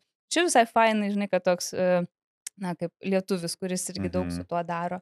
E, tai va, bet sąmoningi sapnai, tai ir tai nėra tik pramoga, tiesą sakant. Dabar e, sąmoningi sapnai e, yra netgi bandoma juos panaudoti, pritaikyti e, medicinoje, terapijoje, pavyzdžiui, e, gydant, bandant susitvarkyti su įvairiomis baimėmis arba fobijomis. Nes tuomet sapne, tarytum kaip saugesniai aplinkoj, tarytum simulacijoje, na, tu gali e, būti eksponuotas tom savo baimėm, na, ar bandyti tvarkyti su tom baimėm, na, tarytum nerealybėje. Ar mhm. įmanoma priverstinai mhm. žmogų panardinti į sąmoningą sapną, pavyzdžiui, su kažkokiais medikamentais ar dar kažkuo tai? Nes skamba, kad mhm. išmokti labai sudėtinga, bet, pavyzdžiui, jeigu aš sakyčiau, na, aš noriu išbandyti, kažkaip įmanoma mane panardinti į tą sąmoningą sapną? Geras klausimas. Manau, kad prieš valią tai ne, nes čia toksai sąmoningas sapnavimas, mhm. ne, tarytum tu turi sąmoningai į jį okay. įeiti. Gal, gal, bet mano nuomonė aš nemanau. Bet tarp kitko, išsitreniruoti, sąmoningai sapnuoti gali skambėti labai sudėtinga. Bet negi nėra taip, kad visi nauji dalykai atrodo, na, tokie sudėtingi. sudėtingi taip. Ir su to sąmoningu sapnavimu tai yra keletas e, labai paprastų dalykų, ką galima tiesiog pabandyti, pasižiūrėti, kaip gausis, nes kai kuriems žmonėms gaunasi lengvai sąmoningai sapnuoti. Tai pirma yra laikyti sapnų dienoraštį, kad tu tiesiog būtum labiau sąmoningas apie savo sapnus ką tu sapnavai, kada ir taip toliau, taip toliau. Ir e, realybės tikrinimas. Čia toks keistas dalykas, kad įprasti dienos metu. Įgnyk man. Iš esmės, vos ne. Pavyzdžiui, vienas iš realybės tikrinimo metodų yra užsikimš nosį ir bandyti įkvėpti, va mes nesapne dabar, nes aš užsikimšau nosį, man nepavyko įkvėpti. O sapne pavyks. Tai, pavyzdžiui, šitą, šitą metodą aš naudojau, kas man padėjo sąmoningai sapnuoti. Dar kitas yra ten pašokti, nes tada lėčiau nusileisi. Du kartą laikrodį pasižiūrėti, nes sapne labai daug laiko jau praeis ir ten yra įvairių triukų. Ir jie nuveikia, ta prasme, Geras. jo. Ok, mm. tai vienas, kodėl visą laiką, kuomet e, mes sapne krentam, mes atsibundam? O, oh, žiauriai geras klausimas, žinok, nežinau. Dar vieną doktorantūrą ištirti. Tikrai, visą laiką atrodo, kad mhm krenti ir, taip, ir prabundi. Taip, Kodėl tikrai. tas kritimas e, žadina? Taip. Atrodo, aš tai, pavyzdžiui, kai krentu, sapne norėčiau pabandyti ten skristi, jo. bet aš pabundu ir negaliu to valdyti. Jo, aš irgi prabundu. visi prabundu. O reiks pasižiūrėti. Ko nepaklausi, visi sako krisdami, Aha. ypač jeigu atgal krenti. Mm. Nuo kėdės ar nuo kažko ir prabundi. Mm geras. Gal kaip nors smegenys ten užfiksuoja tą tokį kritimą ir, na, tarytum bando vėl išvengti pavojaus. Mhm. Ir tave, bet labai įdomus pastebėjimas. Mhm. Uh, na ir dabar apie dienos miegą, nes mhm. uh, paminėjot, kad uh, tai yra iš tikrųjų labai geras dalykas. Tai gal šiek tiek pakalbėkime apie tą power nappingą mhm. ir kiek tai yra svarbu miegoti dieną, jeigu mhm. iš vis pavyksta. Ja. Na, žinom, kad vaikus verčia visus miegoti, ir per prievartą tą daro, suaugi jau iš tikrųjų Aha. pamiršta šitą malonumą ir Jo. mažai kas gali sauliaisti, Mm. bet a, gal turėtų. Mm. Jo, tai dienos miegas sveikam suaugusiam žmogui tikrai yra tik gerai ir naudingai, kol tai netrukdo naktiniam miegui. Na, jeigu jūs, pavyzdžiui, mėgaujatės dienos miegu ir naktį normaliai už, užmingate, užmiegate, naktį miegate be per daug prabudimų, ryte atsikeliat, na, ta prasme, kad jeigu dienos miegas nepaveikia jūsų įprasto nakties miego, super, viskas gerai. Dabar, kaip turėtų atrodyti tas dienos miegas, kad nepaveiktų nakties miego neigiamai. Tai du raktiniai žodžiai yra trukmė ir laikas. E, tai dienos miegas neturėtų būti per ilgas. Tas per ilgas reiškia maksimum 25-30 minučių. E, ta trukmė yra tokia, nes miegodami ilgiau mes jau įeisime į gilų į lėtą į miegą, kas jau gali sutrikdyti mūsų nakties miegą. A čia dėl tos priežasties būna, kai ilgiau pamiegi dieną, atsibundi toks pavargęs ir sulaužytas? Taip, tai yra miego inercija ir ta miego inercija būtent ir yra, kad tu jau įmingi į gilesnės miego stadijas. Ir mes kaip tik vat kalbėjome, ne, kad e, gilioj miego stadijoje smegenų veikla ir smegenys labai kitokios negu kai mes esame prabudę. Ir užtrunka laiko, kol ten viskas, taip sakant, pereina iš miego būsenos į Mm. būtent tą na, aktyvumo būseną. Tikrai taip.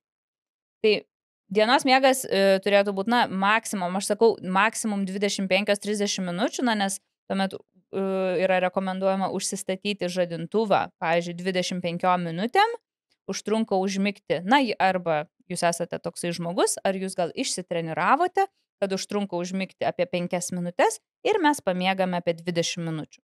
O galima vadinti dienos miegu, jeigu aš tiesiog a, tas 25 minutės gulėjau, bet viską aplinkui girdėjau? Ne, tai tada nemiegas. Jūs ilsėjotės, kas yra žiauriai gerai irgi. Mhm. Ir čia, tarp kitko, ir, ir galim, tiesą sakant, netgi čia šiek tiek ir pratesti, kad, pavyzdžiui, e, jeigu jūs esate žmogus, kuris e, nepropaguojate dienos miego, bet norit gal pabandyti. Ir bet vieną dieną atsigulėte ten kokią pirmą valandą po pietų, užsistatėt žadintuvą ir gulėjot ir neužmigot. Nu ir galvojat, nu aš neužmiegu, man neišeina. Ir metat šitą idėją. E, tai čia yra labai normalus dalykas, kad, na, pirmą kartą tai pabandžius e, neišeis iš karto užmigti, nes jūs nesat prie to pratę, jūsų smegenys nėra pratusios, kad dieną jums leidžiama yra šiek tiek pamiegoti, taip sakant. Tai aš čia siūlyčiau painvestuoti, na, bent savaitę ar keletą, be tokio išsikelto savo tikslo, kad va čia dabar būtinai turėsiu užmigti ir išmiegoti. Tiesiog skirti laiką poilsiui. Taip, pagulėt. Ir pamatysit, kokią jau savaitės gale jau ir užsnausit, o gal ir užmigsit. Nes, na, tai yra vėlgi toks, toks, toksai išsitreniravimas. Ok, o dėl Mhm. laiko, Taip. a, kada geriausia yra ir Mhm. kada jau, jau vėliausiai tą galima daryti? Jo, tai e, kaip ir tokia rekomendacija yra, kad, na, ku- kuo ilgiau yra tarp dienos miego ir nakties miego, na, tuo geriau, bet vėliausiai, na, tai kokios septynios valandos iki nakties miego. Nes kuo vėliau dienoje mes miegame tą dienos miegą, tuo tiesą sakant yra didesnis šansas, kad mes greičiau įeisim į tą gilų į miegą kuris jau tada ir sutrikdys mūsų tą miego slėgį, tokį besikaupiantį, kas padeda užmigti vakare. Mhm. ir yra didesnė tikimybė, e, kad mes atsikelsim kaip ma- maišų daužti e, po tos miego inercijos. Aš esu kaž, kažkur skaitęs ar girdėjęs, kad a, jau nuo ketvirtos valandos geriau neiti Jo, pietų miego, nes a, tuomet Jo. atsikelsi jau tikrai labiau pavargęs. Kad geriausia yra tarp pirmos ir trečios. jo, jo, jo, tai va ir gaunasi, kad ketvirta valanda didžiai daugumai žmonių ir yra kažkas tai septynios valandos iki nakties Mm. miego. A, Okei. Jo, Nu, va čia labai gerai žinoti, nes a, daugelis a, tą dienos miegą kartais taip ir porai valandų užmiega, po to dar labiau Jo. pavargę, jo. jo. atsikeli ir tada vakare užmigti negali. Jo, jo, jo, jo. Tai čia yra vienas labai geras pasakymas, kad e, dienos miegas arti naktinio miego, tai tarytum užkandis prieš vakarienę. Nu, tai tik apetitą sugadina, taip sakant. Bet čia dar norėčiau irgi pasakyti, kad um, dabar mes pakalbėjom apie dienos miegą sveikam vidutiniam žmogui, kuris iš esmės miega plus minus normaliai, neturi jokių kitų sutrikimų, dirba dieninį darbą.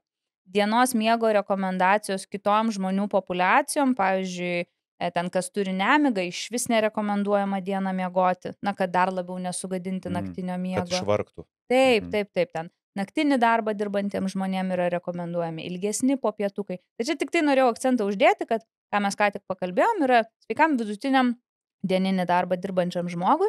Ir paskutinis svarbus komentaras, kurį, manau, labai svarbu yra pabrėžti, kad bet, pamiegojus, e, išskyrus va, tą 20 minutėlių, skaitykim, dienos, 5 e, minutės užmigti, 15 pamiegojai, efektas teigiamas proto aštrumui, savijautai, motivacijai ir energijai yra matomas 2-3 valandas po to.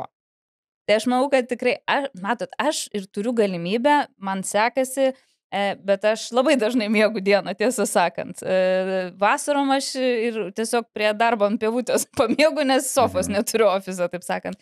Tai aš esu labai tokia mm, palaikytoja dienos mhm. miego, taip sakant. Netgi turbūt galėtų žmogus e, nueiti iki automobilio pamiegoti Taip. ar ofise rasti kažkokį kampą, jeigu Taip. namuose dirbi, kaip dabar populiaru, tai tiesiog įsirašyti pusvalandį laisvą, kad e, tą laiką skirtų miegui. Taip, aš. Kokios tikrai yra taip. ilgalaikės e, naudingos pasiekmes dienos miego? Mhm. Kiek tai gali pakeisti mūsų gyvenimą, jeigu mes tą darysime daug metų?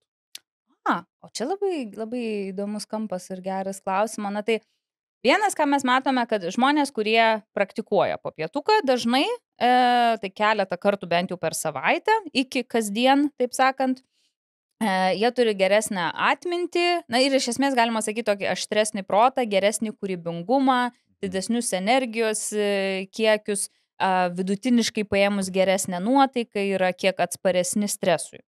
E, tai, tai čia realiai tas mm. pats, kas e, gerai miegant naktį Tik tai dar geriau. Taip, na, viena, taip, iš esmės tai tikrai, nes, na, dieną truputį pailsėjus, truputį pamiegojus, na, tu tarytum pabūstinį, pagerinį, ne tą antrą, antrą dienos dalį. Toks taip. restartas gaunasi. Taip, nugaunasi vos ne dvi dienos vienoj dienoj. Mm. Ne, tai čia vat, visą laiką man ir aš, aš ir noriu labai akcentuoti ypač tiem žmonėm, kurie yra tikrai labai ambicingi, labai nori daug visko padaryti, pasiekti ir viskas įdomu ir norisi daryti, tas yra labai suprantama, bet tada labai dažnai kenčia miegas. Trumpas, trumpinamas miegas, jokių poilsio pertraukėlių. Bet iš vis iš tyrimų, tūkstančių tyrimų ir iš mūsų biologijos netgi, kaip mes veikiame, tik tai gerai pailsėdami ir tik tai darydami pertraukas ir tik tai gerai išsimiegodami, mes ir galėsim ir turėsim jėgų padaryti visus šitos darbus. Mhm. Ir efektyviai, ir greitai, ir dar jais pasidžiaugti, nes būsim pailsėję ir nuotaika ta prasme geresnė. Ir aš labai suprantu, aš pati tokia šiek tiek esu, aš labai suprantu, kad užsidegus noris tik daryti, daryti, daryti, daryti, daryti. Bet na tas pertraukas ar paguliuką ar gerą miegą apturėti labai apsimoka, ypač na, ilgalaikiai perspektyvai, na, nes dažniausiai tie projektai vis tiek maratonas gaunasi, mhm. nesprintukas ten. Taip. A. O šiek tiek užsiminėte apie naktinės pamainas. Mhm. Tai čia irgi norėtųsi paliesti šią temą, nes e, tikrai būna žmonės šios informacijos labai retai randa, nes apie tai jo. tai kažkaip tai niekas nekalba. Visi kalba apie tai, kad reikia naktį miegoti. Bet ką daryti, jeigu žmogus e, dirba naktį ir mhm. kaip tada susidėlioti savo dienos režimą, jog jisai būtų nekenksmingas sveikatai ir aš būčiau produktyvus, tai kadagi mm. visgi eiti miegoti, kada galbūt sportuoti, mm. a, kaip tinkamai miegoti, ar eiti po guliuko to ir panašiai. Jo. jo, tai su naktiniu darbu yra vienareikšmiškai taip, kad uh, neįmanoma jo taip susidėlioti, kad nekenktų sveikatai. Naktinis darbas kenkia sveikatai. Bet aišku, mes, mūsų pasaulis negalėtų veikti, jeigu mes neturėtumėm žmonių, kurie dirba naktį. Tai jie yra, nu, visiški, ta prasme, visiški nustabus didvyriai, kurie, na, pasiaukoja to, tokį darbą dirbti ir jau yra ir kalbama, kad jie turėtų ir anksčiau į pensiją išeiti, ir jiems didesnė alga turėtų būti mokama, ar kažkokios išmokos, daugiau atostogų, nes naktinis darbas nudrožia sveikatą. Mhm. Dalykai, ką galime daryti, kad sumažinti šitą žalą, e, yra tokie. Ir čia netgi keletas buvo nesenai išleistų straipsnių, tokių rekomendacijų, ypač COVID laikais, kaip geriau naktinį darbą turintiems žmonėms susitvarkyti su tuo. E, tai pirmas dalykas yra prieš pamainą miegoti kiek telpa. Tai ir naktį prieš e, naktinę pamainą nesistatyti jokių žadintuvų, miegoti kiek ten telpa. Mhm. Ir tą dieną prieš pat naktinę pamainą pamiegoti na, dienos miegą irgi kiek telpa, tiesiog be žadintuvo. Tuomet kavą, jūs tuomet naktinę tą pamainą, tą naktį reikia na, traktuoti tarytum dieną. Tai tuomet tie tokie patarimai ir gaunasi tokie patys, kaip, pavyzdžiui, mie, gero miego patarimai dienai. Tai kavą, kofeiną gerti tik naktinės pamainos pradžioje, ne vidury, ne pabaigoje. Čia kaip rytas. Taip, būtent. Mhm. Naktinės pamainos pradžia - rytas. Naktinės pamainos e, galas, pabaiga - vakaras. E, tuomet taip pat, na, ten, jeigu norisi šiek tiek pamiegoti, irgi būtent naktinės pamainos pradžioje, jeigu yra tokia galimybė. Valgyti daugiausiai irgi naktinės pamainos pradžioje. Jau į naktinės pamainos pabaigą, kiek įmanoma, e, mažiau būti e, ryškioje šviesoje, kiek leidžia darbo tipas. Ir kai važiuojate namo, patartina naudot akinius nuo saulės, kad saulės šviesa neprabudintų jūsų Mm. nes jum tuoj miegot reikės. Ir čia yra vienas iš tų atvejų, kai gali padėti melatonino papildai. Nes miegama yra visiškai ne tuo laiku, kai reikėtų, tai ryte melatoninas nėra išskiriamas. Ten jau skiriasi kortizolis. Ten jau budina. skiriasi kortizolis. Jo, Taip. tai va tada ryte yra tyrimai, kurie rodo, kad gali padėti melatonino papildai, tuomet va, geriau giliau užmigti tą rytą po naktinės pamainos. Ir vėl miegoti kiek... e, Ki- Jo, iš esmės tai kiek telpa. Mhm. Ir geriausia, na, labiausiai mūsų organizmui kenkia slenkančios pamainos, rutinos nebuvimas. Tai jeigu jūs visą laiką naktinį darbą dirbate ar tokią pat pamainą, tokio, tokiu pat laiku, tai tiesą sakant jau yra geriau negu na, kažkokia Mm. šokčiojanti, slenkanti pamaina, kai organizmas iš vis nežino, ką daryti. Taip. Mm. O kaip, nu taip, čia turbūt yra geriausia, nes tada yra kažkoks režimas. O Taip. kiek gali žmogus save drošti naktiniai pamainoj, kur yra ta riba, jog tai nepakenktų sveikatai ilgalaikiai perspektyvoje? Ir kas yra jau per daug? Ar tai yra, Mm. na, jaunimas, kuris yra jaunas ir padirba porą metų, Mm. ar visgi yra žmonių, kurie dirba dešimtmečiais ir, ir iki pat pensijos? Jo, Tai kiek, kiek va tas yra sveikas laikotarpis a, darbui naktį? Mm, labai sunkus klausimas iš tikrųjų, nes na, aš tai turbūt sakyčiau, kad nėra na, tokio, kad sveikas. Aišku, yra žmonės, kurie visą gyvenimą dirba naktinį darbą. Nu ir dirba naktinį darbą ir turi gyvenimą ir gyvena. Bet tai nereiškia, kad jų sveikata, pavyzdžiui, galbūt būtų buvusi geresnė, jeigu jie būtų dirbę dieninį darbą, Mm. pavyzdžiui. Kuo jaunesnis esi, vidutiniškai paėmus, aišku, tuo lengviau atsistatyti ir tuo lengviau yra ištverti na, kažkokius va tokius iššūkius ir sunkumus. Kuo trumpiau tą darbą dirbi, irgi tuo lengviau po to atsistatyti. Bet vienas gal toks tikslesnis komentaras yra, kad pelėdoms gali būti visai tinkamas naktinis darbas ir itin ekstremaliom pelėdom. Tačiau mes dabar perinam na, į tą naują gal trendą ar waivą rinktis darbą ar darbuotojus pagal jų chronotipą. Vyturius, pelėdas, kam tinka anksti keltis, kam tinka gal ir naktį Mhm. dirbti. Mm. O labai svarbu pakalbėti apie miego higieną. Taip. A, tai dabar grįžkime prie tų žmonių, kurie miega įprastai, Mm. bet turbūt miego higiena nesiskirs, jinai bus svarbi ir vieniem ir kitiem vienodai. Na, kaip turėtų vykti visas a, procesas iki miego, kokioje aplinkoje mes turime miegoti ir kokioje aplinkoje Mm. mes turime keltis. Hmm. Padarykime tokį protokolą žmonėms, jog jie žinotų, kaip telktis. Ypač dabar prasidėjo šildymo sezonas, Jo. Kai namuose pas kai kuriuos e, senuose namuose užkyla temperatūra iki 25 laipsnių ir panašiai. Tai kaip turėtų atrodyti tas visas miego protokolas? Hmm. Puikus klausimas. Tai čia aš netgi gal pateiksiu tos miego hygienos patarimus e, prioriteto e, tvarka, kad, na, pirmas yra toks Mhm. svarbiausias ir didžiausią efektą turintis, na ir taip toliau. eina.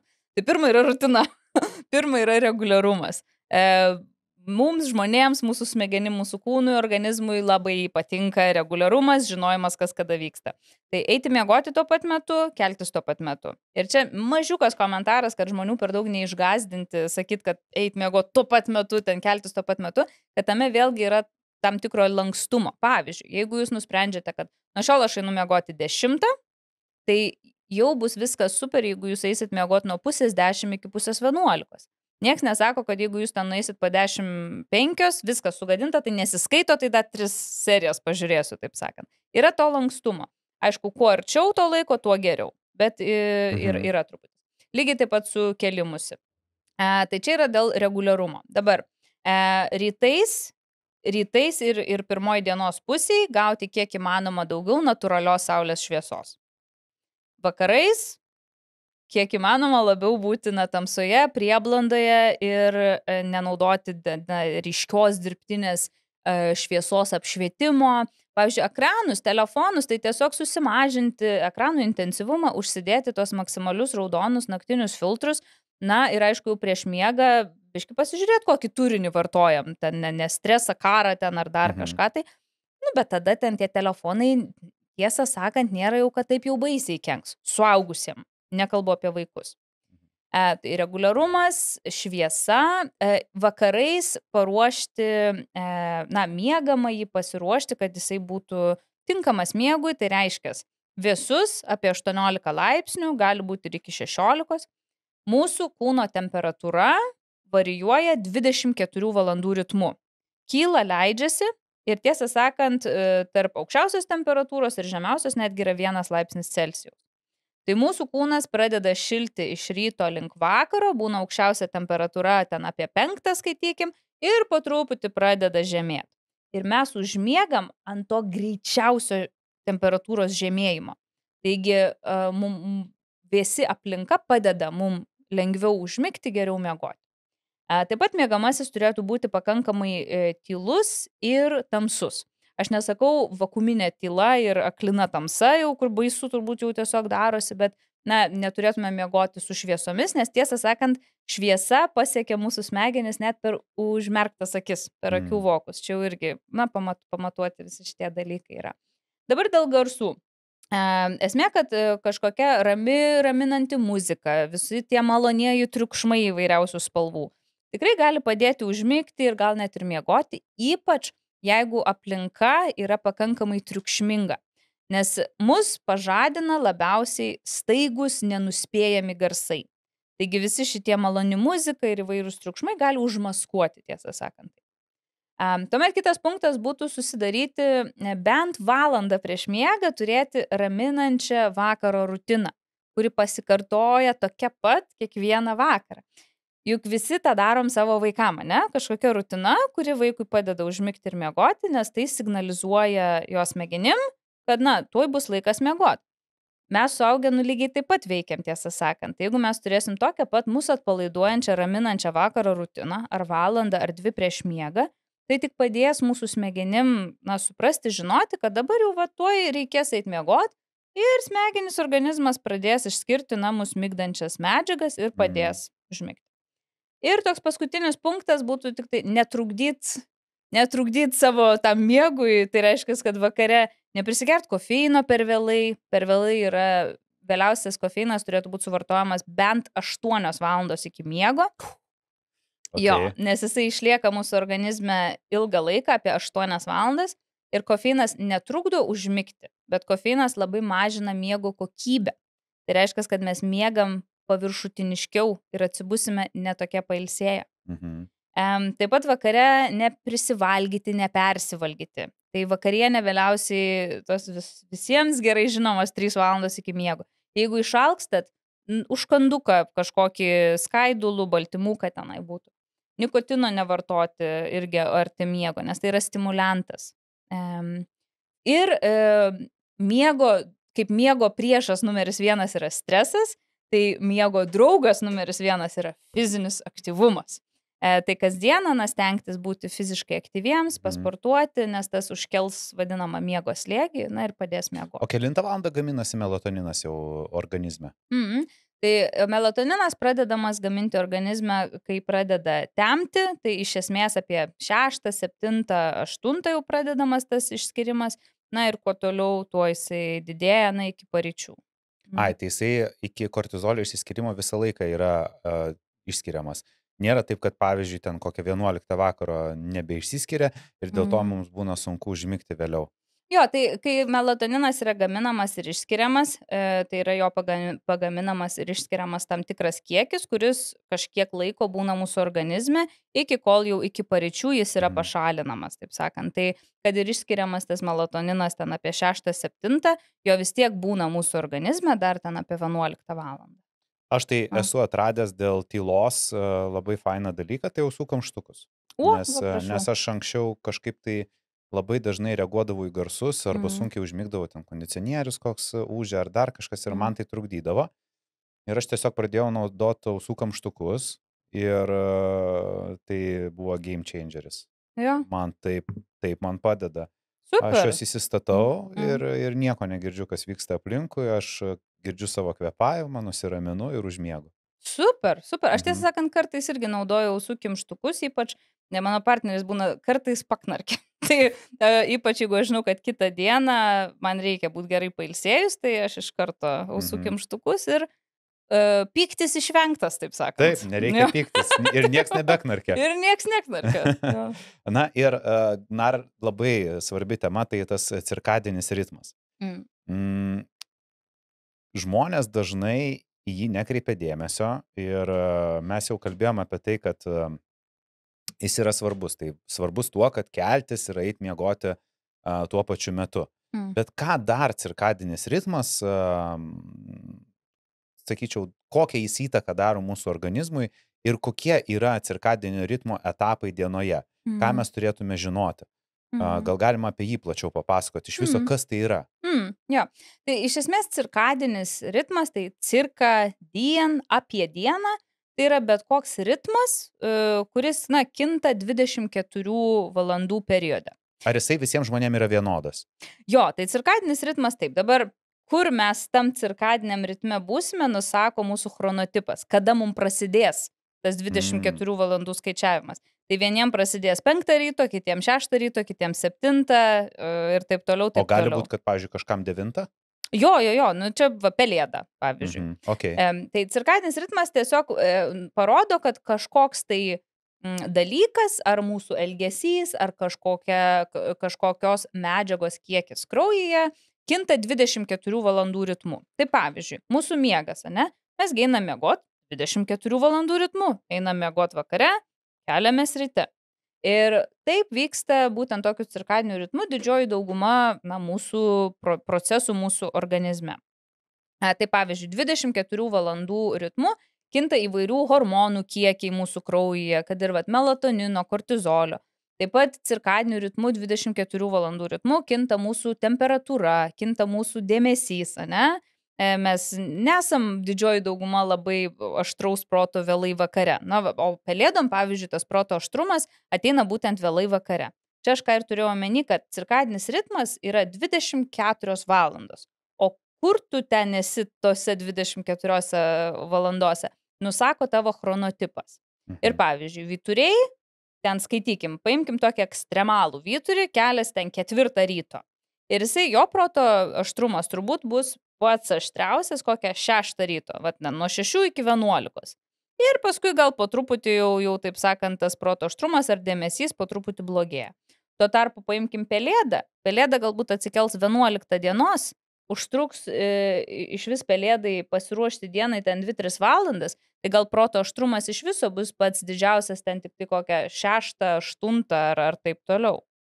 Um, ir iš esmės visi procesai mūsų kūne vyksta pagal cirkadinį ritmą ir na, virškinimas, ten raumenų atstatymas irgi, kada, jo, kaip sakiau, kada protas aštriausias, kada raumenys geriausiai veikia, Mm. taip toliau. Taip. Esate jauni kuriejai, influenceriai, o gal verslas ir norite pradėti kurti savo laidą. Tam yra puikia vieta - studija Record in Vilnius. Mūsų studijoje savo laidą galite paversti unikalią, dėl to, kad mes turime daugiau negu septynis skirtingus įvaizdžius. Ir jeigu netgi jūs neturite žmogaus, kuris gali jums sumontuoti video, visą tai turime mes.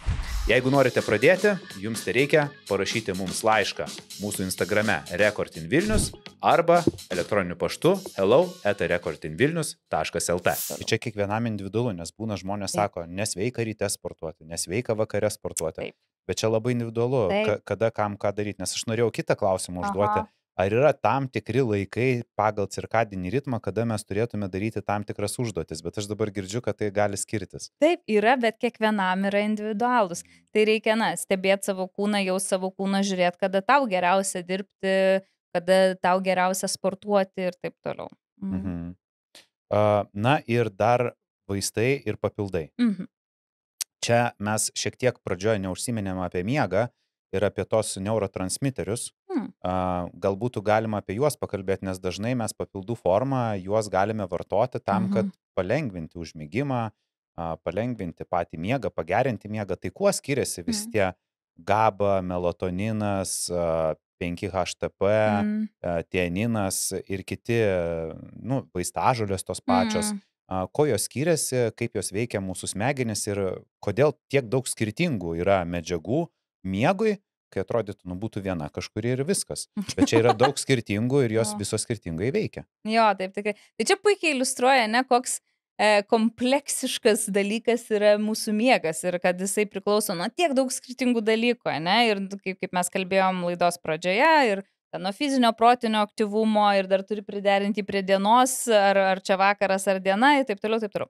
Bet taip trumpai pasakius, e, yra keletas pagrindinių neuronešiklių, kurie reguliuoja mūsų miegą.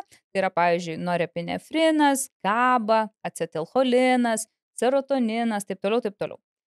Ir jų tas toks tarpusavio šokis, gal net pavadinkim nak- nakties eigoje, yra tikrai labai, na, toksai kompleksinis, kad vieno padaugėja, kito pamažėja, kai mes pereinam iš vienos miego stadijos į kitą. Pavyzdžiui, kai mes užmiegam ir įeinam į lėtą į miegą, po truputį didėja gabos ir labai labai mažėja norepinefrino.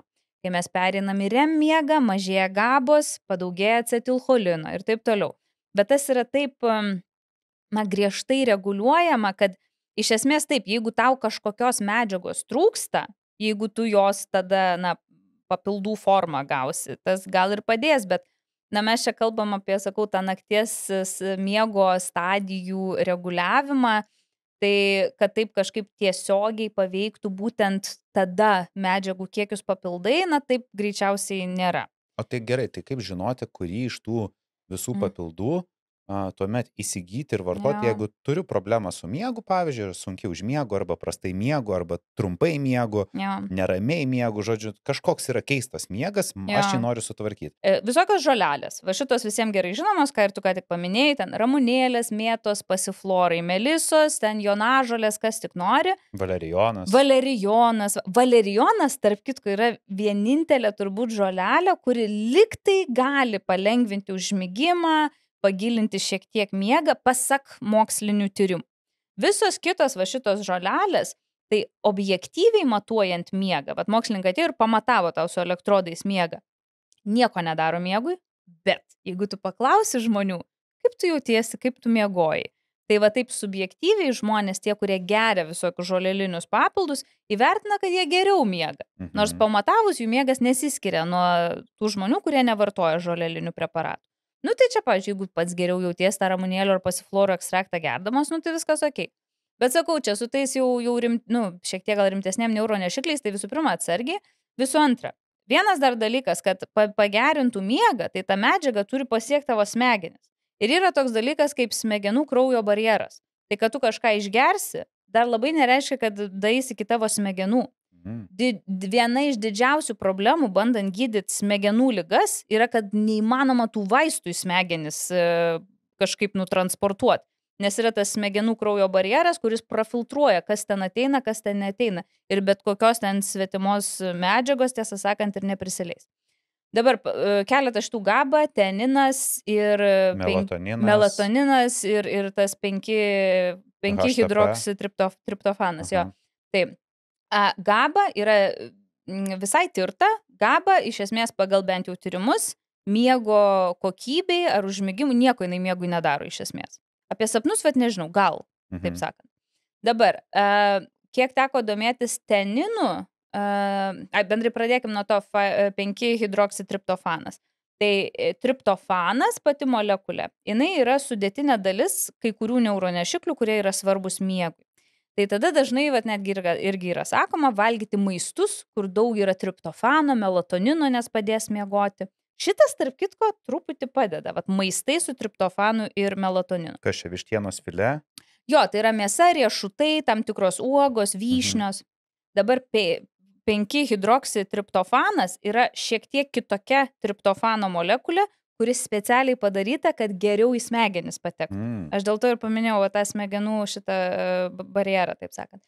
Ir su šita, aš tiesą sakant, šiandien važiuodama boltą pas tave, paguglinau, pasižiūrėjau straipsnius apie tai. Tai ir pati šiek tiek net nustebau, kad tas 5 hidroksitriptofanas, nu, tarp kitko, liktai padeda lengviau užmigti ir ilgiau miegoti, netgi, na, vidutiniam paprastiem žmonėm, kurie neturi miego sutrikimų. Mhm. E, tai va, bet su tais papildais, aš sakyčiau, ypač tiem, kurie turi miego sutrikimų, labai atsargiai ir tik pasitarus su medicinos gydytoju ir geriausia dar su tokiu gydytoju, kuris specializuojasi miego srityje. Bet jeigu, pavyzdžiui, mes statytume žmogų ant svarstyklių. Nu, pastatyk. Jeigu žmogus turi miego problemų, mm. susijusių, pavyzdžiui, su depresija, nerimu, mm. nemiga, mm. ir jam sako, žiūrėk, nu tau reikia gerti vaistus nuo nemigos, nežinau, ten kokį nors stilnoksą ar dar kažką mm. tai, ne, ten kur jau vaistai. O jisai yra prieš vaistus. Na, tarkim, nes vis tiek vaistai, aš nežinau, aš nenoriu būti gydytojas ir teisėjas, bet mm. aš turiu tokią nuomonę, jog prie vaistų šiek tiek priprantama. Mm. Ir gali išsivysti priklausomybė, net tokia priklausomybė ne dėl to, kad vaistas padeda, bet dėl to, kad jeigu neišgersiu vaisto, reiškia neužmigsiu. Ir jo. žmogus jau bijo neišgerti, nes kitaip neužmigs. Mm. Atsiranda priklausomybė vaistui. Galbūt ir tie vaistai ir padeda. Mm. Bet vis tiek kažkokia yra sąsaja tarp priklausomybė. Ir čia, tarkime, atsiranda papildas. Mm. Ne vaistas, o papildas mm. ir kokia ten, nežinau, GABA 5-HTP, mm. melatoninas pats mm. paprasčiausias. Ir išgerus jo jisai puikiai užmiega ir jis taip išvengia gerti vaistų. Mm. Ar tai nėra geresnė alternatyva vaistams mm. cheminiams? Mm. A, tie papildai, mm. negu mm. iš viso vakare atsigulus kankintis, žiūrėti lubas ir neužmigti mm. ir taip miegą tvarkyti. Mm. Nu tai kai tu tokią situaciją pateiki, tai taip. E, tada tikrai papildai yra geriau negu skaitykim stipresni migdomieji. Čia tik tai aš kart pasakysiu, kad viskas yra chemija. Tai melatoninas yra cheminė nu, molekulė, ar ta prasme migdomieji yra cheminė molekulė. Viskas yra chemija iš esmės. Tai tokioj hipotetiniai situacijai taip, aš sakyčiau, kad papildai tikrai yra geriau, skaitykim, negu migdomieji vaistai, nes jie nesukelia tokios priklausomybės, na ir yra kaip jie yra mažiau aktyvūs mūsų organizme, tai mažiau pakeis. Bet dėl migdomųjų, e, čia aš norėčiau truputį tokį patikslinimą padaryti, kad taip, mūsų pasaulyje dabar yra taip, kad na, per daug, per dažnai, per greitai yra išrašomi tie migdomieji ir jų yra naudojama per daug, bet migdomieji migdomieji yra tiesiog migdomieji ar jie blogi ar geri priklauso kaip tu naudosi ane ir kam tu mhm. naudosi migdomieji tam tikrais atvejais gali labai padėti pavyzdžiui e, tą patį stilnoktą kurį tu ką tik paminėjai man teko naudoti vieną kartą gyvenime migdomuosius keturias naktis būtent tą stilnoktą tai čia aš buvau labai pervargus ir išsitampius ir susistresavus po savo doktorantūros gynimo, taip sakant. Ir tada va, buvo pirmas kartas, kai aš patyriau tokią rimtesnę nemigą Ir aš buvau nu, tragiškai išsigandus. Ir tada galvoju, o Dieve, kaip čia tvarkytis. Ir gydytoja man patarė, pasakė, kad, aha, kadangi tu neturi jokių kitų priklausomybių, tu neturi rizikos priklausomybėm, tavo nemigos priežastis yra labai aiški. Buvo stresinis įvykis gyvenime, kuris tave išmušė iš vėžių ir dabar reikia tau tave pastatyti atgal ant tų vėžių, taip sakant. Mhm. Dabar tau gali padėti va, būtent labai trumpalaikis migdomųjų pavartojimas, kad gražinti miego ritmą, kad aš vėl užmigčiau, kad aš nebe, nebesinervuočiau toj lovai, taip sakant. Ir man tos keturios naktis, man asmeniškai, vėlgi čia labai subjektivu, man labai padėjo. Po tų keturių naktų aš nenaudojau migdomųjų niekada daugiau gyvenime ir mane tas pastatė ant kojų, taip sakant. Bet aš matau čia vieną labai tokį mm. svarbų jūsų komentarą. Mm. Jog gydytojas pamatė, jog neturit niekam priklausomybę. Taip. Čia labai svarbu. Taip, tikrai taip, tikrai taip. Nes žmonės linkia į priklausomybės, kad ir bet kokias, ne, aš vadinu net maisto yra priklausomybės, ne? Mm. Visokios yra priklausomybės serialam ir taip toliau. Jeigu mm. žmogus neturi menkiausią priklausomybę, tai jis gali ir turėti priklausomybę meloton, melatoninui. Taip, taip, taip. Štai va čia ir kitas klausimas. Mhm. Paprastų papildų tokių naudojimas. Kokią mhm. jis turi ilgalaikę žalą? Mhm. Įsivaizduokim, kad, na, hipotetinė situacija ir žmogus, na, tiesiog jau be mhm. šitų papildų negali užmigti.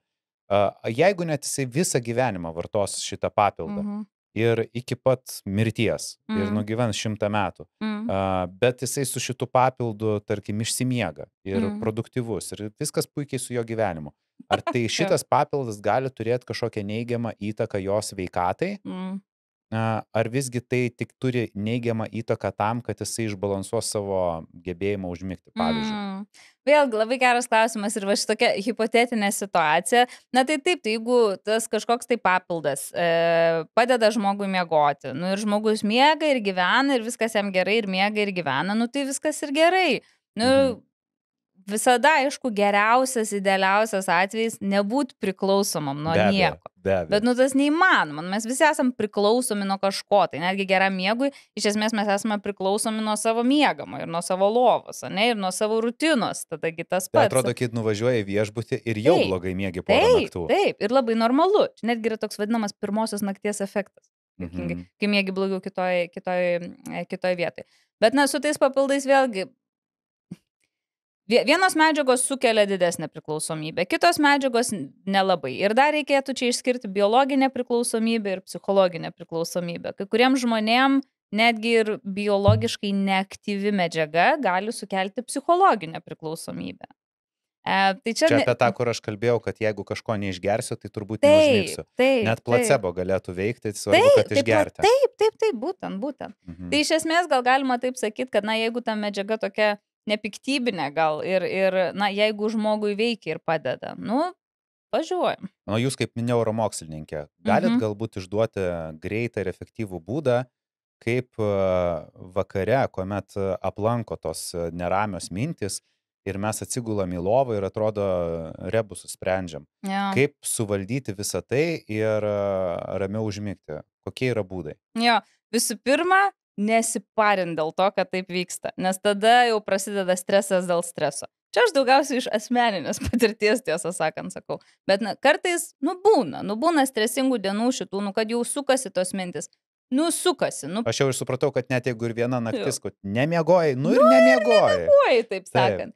E, Bet čia manau, kad labai svarbu pasakyti, atrasti tą būdą, kas padeda būtent jum. Nes, pavyzdžiui, vieniem labai padeda, pavyzdžiui, nueina pasivaikšto 15 minučių, kaip ranka nuima. Mhm. Kiti būna užsileidžia muziką kažkokią ramę. Aš asmeniškai dievinu miego pasakas paklausyti visokias. Ten, nu, apsuose visokiose yra, aš nežinau, gal čia reklamuot kažkaip labai per daug nereikia, bet, na, tiesiog yra miego istorijos, miego pasakos, kažką ten apie gamtą, kad ten po miškus kažkokius vaikšto, Mhm. mhm. mane tas labai, pavyzdžiui, ramina. Geras. Kitiem veikia raumenų relaksacija, kitiem veikia ten karšta vone. Tai ne, nebijot paeksperimentuoti čia, tiesą sakant, ir atrast, kas jum labiausiai padeda išlysti iš to savo galvos. Intimus klausimas. Važiuojam. Seksas prieš miegą Mhm. yra gerai ar blogai? Priklauso, ar geras ar ne. Ne, nu, aš Nu, čia imkime, imkime į tai, kad geras. Jo, jo, jo. Jo, tai čia irgi yra keletas tyrimų, kurie parodo, kad tai yra vienas iš būdų, kas padeda nusiraminti, atsipalaiduoti ir išlysti iš savo galvos ir taip padėti geresniam, gilesniam miegui. Okay. Mm. O dabar, jeigu kalbant šiek tiek apie miego sutrikimus, jau paminėjom nemigą daug kartų, Mm. bet dar yra apnėja, Mhm. narkolepsija. Mhm. Kiek tai turi įtakos sveikatai ir kas tai yra per lygos, kad Mhm. žmonės šiek tiek suprastų, nes daug kas gal turi, bet nelabai žino Mhm. simptomų ir net nesikreipia pas gydytojus, o gal Jo. reiktų. Reiktų tą Jo. tvarkyti. Visos miego lygos gadina ir drožia sveikatą ir jas reiktų gydyti ir dėl to labai fainai ir labai svarbu, kad tu pasakai, kad paminėkim, pakalbėkim, nes gal žmonės turi, bet nežino. Tai apnėja, miego apnėja, tiesą sakant, yra vienas iš labiausiai nediagnozuojamų ir ne, neatrandamų tokių miego sutrikimų, kas yra kvepavimo sutrikimas miego metu. Tam tikriems žmonėms dėl įvairiausių priežasčių - anatominių, genetinių, gyvenimo e, stiliaus, tam, pavyzdžiui, viršsvario, būna, kad miegant giliojo miego metu per daug atsipalaiduoja kvepavimo raumenis arba yra kažkokių kitų kliučių kvepavimo takuose, kas užblokuoja degonės ir oro patekimą į plaučius. Ir tuomet, na, žmogus arba knarkia, yra įvairūs ten garsai ir, ir, ir, ir dūsavimai, ir žmogus Mm. prabunda, nes smegenys negauna degonies. Ir gaunasi tas tavo miegas pastovus prabudimas, nes tu okay. Tik užmiegi ir kvepuot nebegali ir tave prabudina. Tai čia, va, pavyzdžiui, netgi toksai mm, garsus, intensyvus, pastovus knarkimas, tiesą sakant, gali būti netgi, na, rimtesnių problemų e, simptomas. Okay. Tai čia yra su apnėja. Tada narkolepsija, čia jau žmogus pastebėtų, turbūt manau, kad jeigu turėtų narkolepsiją, nes čia yra toksai nenumaldomas, nevalingas noras dieną užmiega tiesiog žmonės, ar toksai labai didelis mieguistumas. E, tai čia tikslių priežasčių, aš tiesą sakant, yra žinoma, bet aš dabar nelabai žinau, ar ten yra genetinės, man atrodo, tiesą sakant. Dar vienas dalykas yra, pažiūrėjau, neramių kojų sindromas. Mhm. E, kai atrodo, čia kažkas bėgioja, niešti ir nori tas kojas judinti ir už tai sunku mėgoti. Bet šitas, tarp kitko, dažnai, ne visada, bet dažnai būna susijęs su geležies trūkumu. Mm. Aš labai esu dėkingas už šitą pokalbį, nes, e, na, tikiu, kad daugeliu jisai buvo labai naudingas ir e, aš pats sužinau nemažai naujo. Mm. A, tai tikrai dabar ne, nepergyvensiu, jeigu ištiks tokios naktis, kuomet aš prašiau miegosiu ir nustosiu fanatiškai žiūrėti kiekvieną rytą, kaip aš miegojau. Ir dabar žinau, kad prabusti penkis kartus naktį yra gerai, nes aš kai pamatau tuos raudonus dryželius viršuje, aš galvoju, Jo. kažkas buvo blogai. Jo. Ir, ir kad jau čia blogai, jau čia reikia kažką keisti. Mm. Tai ačiū labai, ačiū, kad atėjote. Linkiu sėkmės toliau nagrinėjant miego karalystės. dėkui, dėkui. Ir ačiū visiems, kas žiūrėjote. Nepamirškite, kaip visada, uždėti laiko, parašyti komentaro, bent jau širdutės, kas padės mums aukti. Ir aišku, uždėkite ir paspauskite mygtuką prenumeruoti, nes mes jau esame arti šimto tūkstančių prenumeratorių. Tai viskas dėka jūsų. Ačiū dar kartą ir susimatysime jau kitą savaitę. Iki.